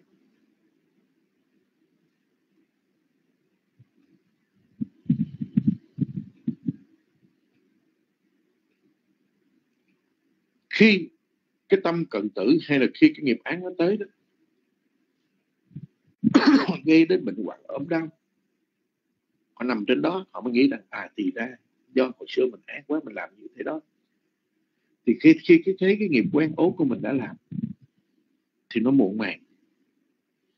Khi này chúng tôi nói, đây là một điều cần thiết lắm đó quý vị. Chúng ta sinh ra chúng ta thiếu phước hơn người, hơn những chúng sinh khác, hơn những người khác. Thì chúng ta nên bổ khuyết để cho nó nó bằng hay nó tốt hơn chúng ta đừng bao giờ khởi lên một cái lòng ganh tị. Khi người ta hơn mình về sắc diện, người ta hơn mình về kiến văn, người ta hơn mình về tài sản, người ta hơn mình về, mình, hơn mình nhiều về tình cảm. Được cái sự thương yêu, được cái sự đông đầy, được cái sự che chở. Rồi chúng ta ganh, chúng ta ghét với chính họ. Chẳng những chúng ta không làm được gì họ, mà tự ta nó mất phước, nó lại càng khổ hơn, nó lại càng tới xấu tệ là càng tệ hơn nữa. Nghe ra thì chúng ta nghĩ cái chuyện, đó là cái chuyện thường, nhưng nó rất là bất thường. Hiểu biết được, cái sự sống xa nhất của con người, tức là ganh tị và bỏng sẻn. Cái lòng xấu của cô chúng sinh, đó chính là sự ganh tị và bỏng sẻn. Cái sự ganh tị và cái sự bỏng sẻn đó, nó đã thiêu đốt nó đã làm cho chúng, tất cả chúng ta đau khổ. Ở kiếp này, qua kiếp đau khổ từ đời này sang kia, đau khổ với nhiều đời. Phải nói rằng, không ai trong cuộc đời mà được bình yên đâu. Nếu như chúng ta chưa chấm dứt sinh tử đau khổ còn lăn trôi sinh tử trong cuộc đời này. Thì cái thiện ác, cái đau khổ, cái oán hờn nó luôn luôn xuất hiện. Một con người mà có nhiều lòng ganh tị, có nhiều cái lòng ác lắm, thì nó xấu xí lắm. Thứ nhất, cái sự ganh tị tức là mình thua người ta. Cho nên người ta mới, mình mới ghét người ta. Mình mới nhìn xấu người ta, mình suy nghĩ xấu về người ta chứ thay vì mình biết quan hỷ tùy hỷ? Ừ, theo hơn mình. Một là quan hỷ tùy hỷ còn không hay giữ tâm bình thản. Đừng có khởi tâm lên có cái sự ganh tị có cái sự đố kỵ. Từ cái sự ganh tị từ cái sự đố kỵ đó nó sản sinh ra cho tâm của chúng ta nhiều cái điều bất lợi. Mà nhiều điều bất lợi đó thì cũng chính mình tạo cho mình cái quả đau khổ. Đau khổ ngay trong cái hiện tại này. Rồi khi thấy họ, mình không vui, không thích. Chúng ta đã thua người ở trong hiện kiếp này, mà còn thua người vĩnh viễn về sau. Nếu như họ có cái sự khoe khoang, họ có một cái sự tự mãn, tự cảm, thì chúng ta biết. Thật sự ra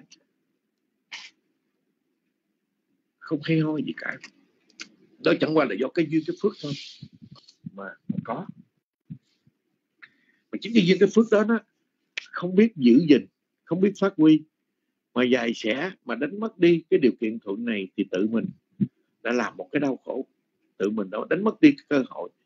Mà đánh mất đi cơ hội như vậy thì cơ hội sẽ không không có hiện về cho chúng ta nữa đâu. Thế không có sự thể xuất hiện nữa khi mà người tu có một cái ý, ý niệm trí tuệ như thế đó thì cái tu việc quá tuyệt vời. Chúng tôi muốn nói như vậy để chi? Từng công đức lớn nhỏ từng sự thiện sự này mà chúng ta làm đó là kết tụ đó là một cái nhân lành cho cái cái con đường tử sinh của mình. Chúng ta nhớ như vậy. Tập không có cái sự ganh tị không có sự oán hận không có những cái lòng ác xấu á, thì con người mình đẹp đẽ cái tâm mình nó hiền thiện cái căn tánh thiện mình nó khởi sanh.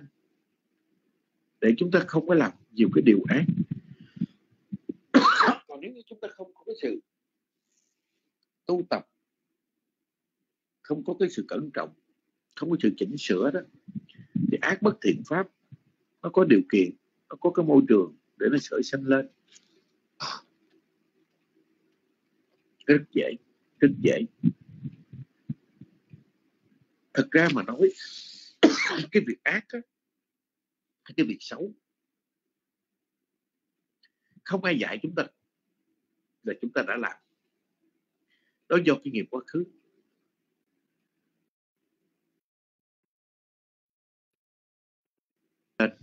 Cái chúng ta nhớ chúng ta biết. Nhưng cái thiện pháp thì do phải có sự quân tập phải do một cái sự tu trì nó mới có. Ha. Đây là vậy bởi vì thành một người tốt rất là khó. Chứ đóng vai người ác thì nó rất là dễ, đóng vai người hiền thì nó mới khó. Mới chỉ đóng vai người ác thì dễ. Đóng vai người tốt nó khó. Đóng cái vai thôi. Cái vai vế như thế thôi mà nó không thật. Đã là khó đóng rồi. Mà nếu như chúng ta thực hành thật thì cái giai ác rất là dễ dễ đóng.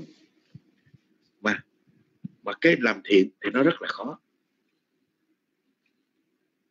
Dạ yeah, rất là khó.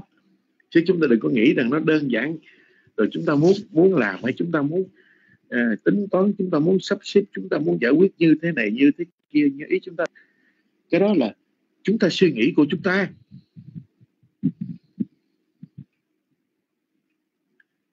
Đối với cái vị hành giả tu tập đó kính thưa quý vị họ biết rằng khi nào không có chánh niệm có chánh định hiện hữu thì ngay khi đó cái đời sống họ là cái đời sống của đau khổ cái đời sống của phóng dật cái đời sống của, của bất thiện tâm.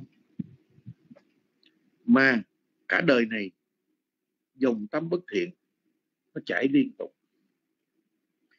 Khi nào chúng ta tu có chánh niệm chánh định thì ngay khi đó nó mới ngăn ngăn được cái dòng chảy của thiện của thiện, của ác. Ngăn được dòng chảy của cái ác, của cái căn bất thiện.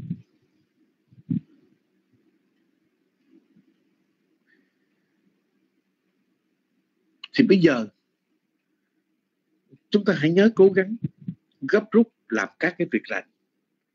Hay là chúng ta phải tạo những cái việc lành để làm nền cái làm nền này để về sau chúng ta sinh ra. Chúng ta sướng. Và chúng ta biết làm các cái công đức để chúng ta, dòng sinh tử chúng ta gặp nhiều cái cái thuận duyên, gặp nhiều cái điều kiện tốt đẹp.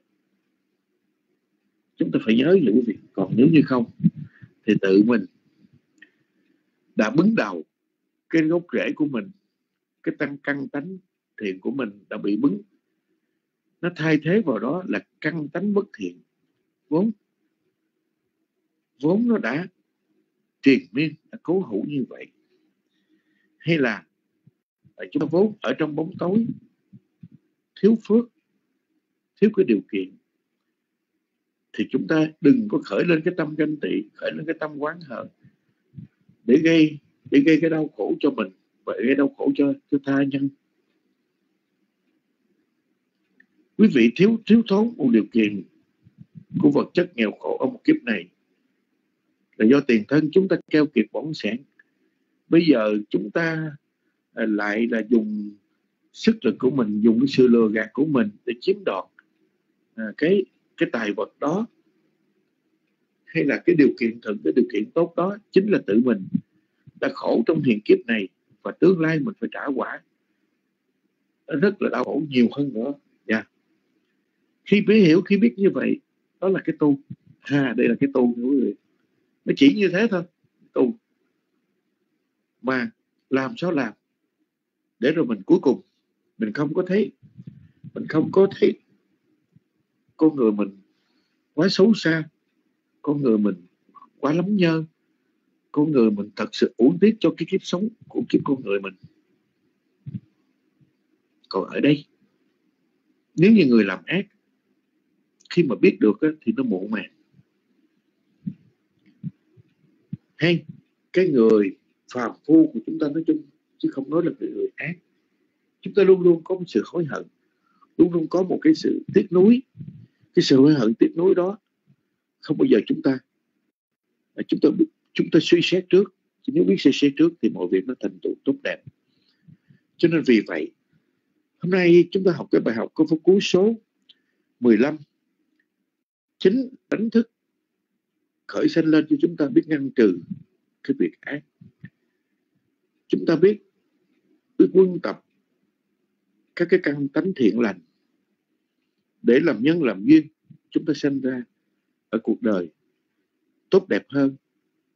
Và từ cái sự tốt đẹp đó làm và thực hành, nó lại càng tốt đẹp nữa.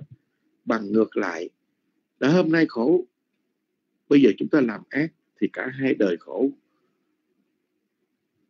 Khi khi khi cái nghiệp khổ nó đã tới, khi thấy cái ác nghiệp, thì cái quế nghiệp của mình đã tác tạo, thì chúng ta là quá khổ. Dạ kính bạch quý ngài, kính thưa toàn thể quý vị, xin có đôi điều xin trình bày à, để à, bổ khuyết cái thời gian sau cùng. Khoảng 30 phút sau Buổi giờ này cũng đã đến ờ, cũng vừa với cái thời gian. À, xin kết thúc chương trình của sinh hoạt tối hôm nay ngày chủ nhật ờ, của lớp Phật Phật Phật pháp Bố Chấp Thăm Má tại nơi đây. À, kính định và thuyết và cũng như kính đảnh lễ và kính chào quý vị hẹn gặp quý vị vào ngày mai như giờ thường lệ. Dạ kính chúc được an lành được tốt đẹp. Dạ xin kính mời chi chúng lên để kinh cảm tạ cho hoàng mạng. nam mô Bồ thầy dạ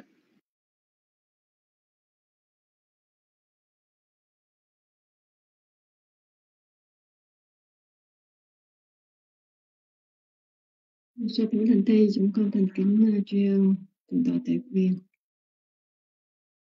Sa thú sa thú lần Tây, con Metta bên Nhà, thay mặt đại chúng trong rung. chúng con kính tri ân chư tôn đức đã mở lòng bi mẫn, giảng dạy những giáo nghĩa vi diệu của Đức Phật, để toàn thể chúng con được lắng nghe, ghi nhớ và hành trì trong tôn chỉ, không làm các ác nghiệp, không tu các hành lành, thanh tịnh hóa tâm ý như lời chư Phật dạy. Kính cảm ơn quý ốc đã yểm trợ cho các phần hành trong lớp học đường hoàng tất mỹ mãn. Chúng con kính chúc và quý đầu hữu luôn an hòa các tường trong chánh pháp nhiệm màu của Đức Thế Tôn. Để kết thúc chương trình, xin chúng ta nhất tâm hồi hướng. Nguyện công đức đã làm, kết chuyên lành giải thoát. Nguyện hồi hướng chư thiên, hoàng thiện thần hộ pháp. Nguyện các bậc hộ ân, đồng thừa tư công đức. Nguyện chánh pháp trường tồn, chúng sanh cầu giải thoát. Nam mô Bổn Thầy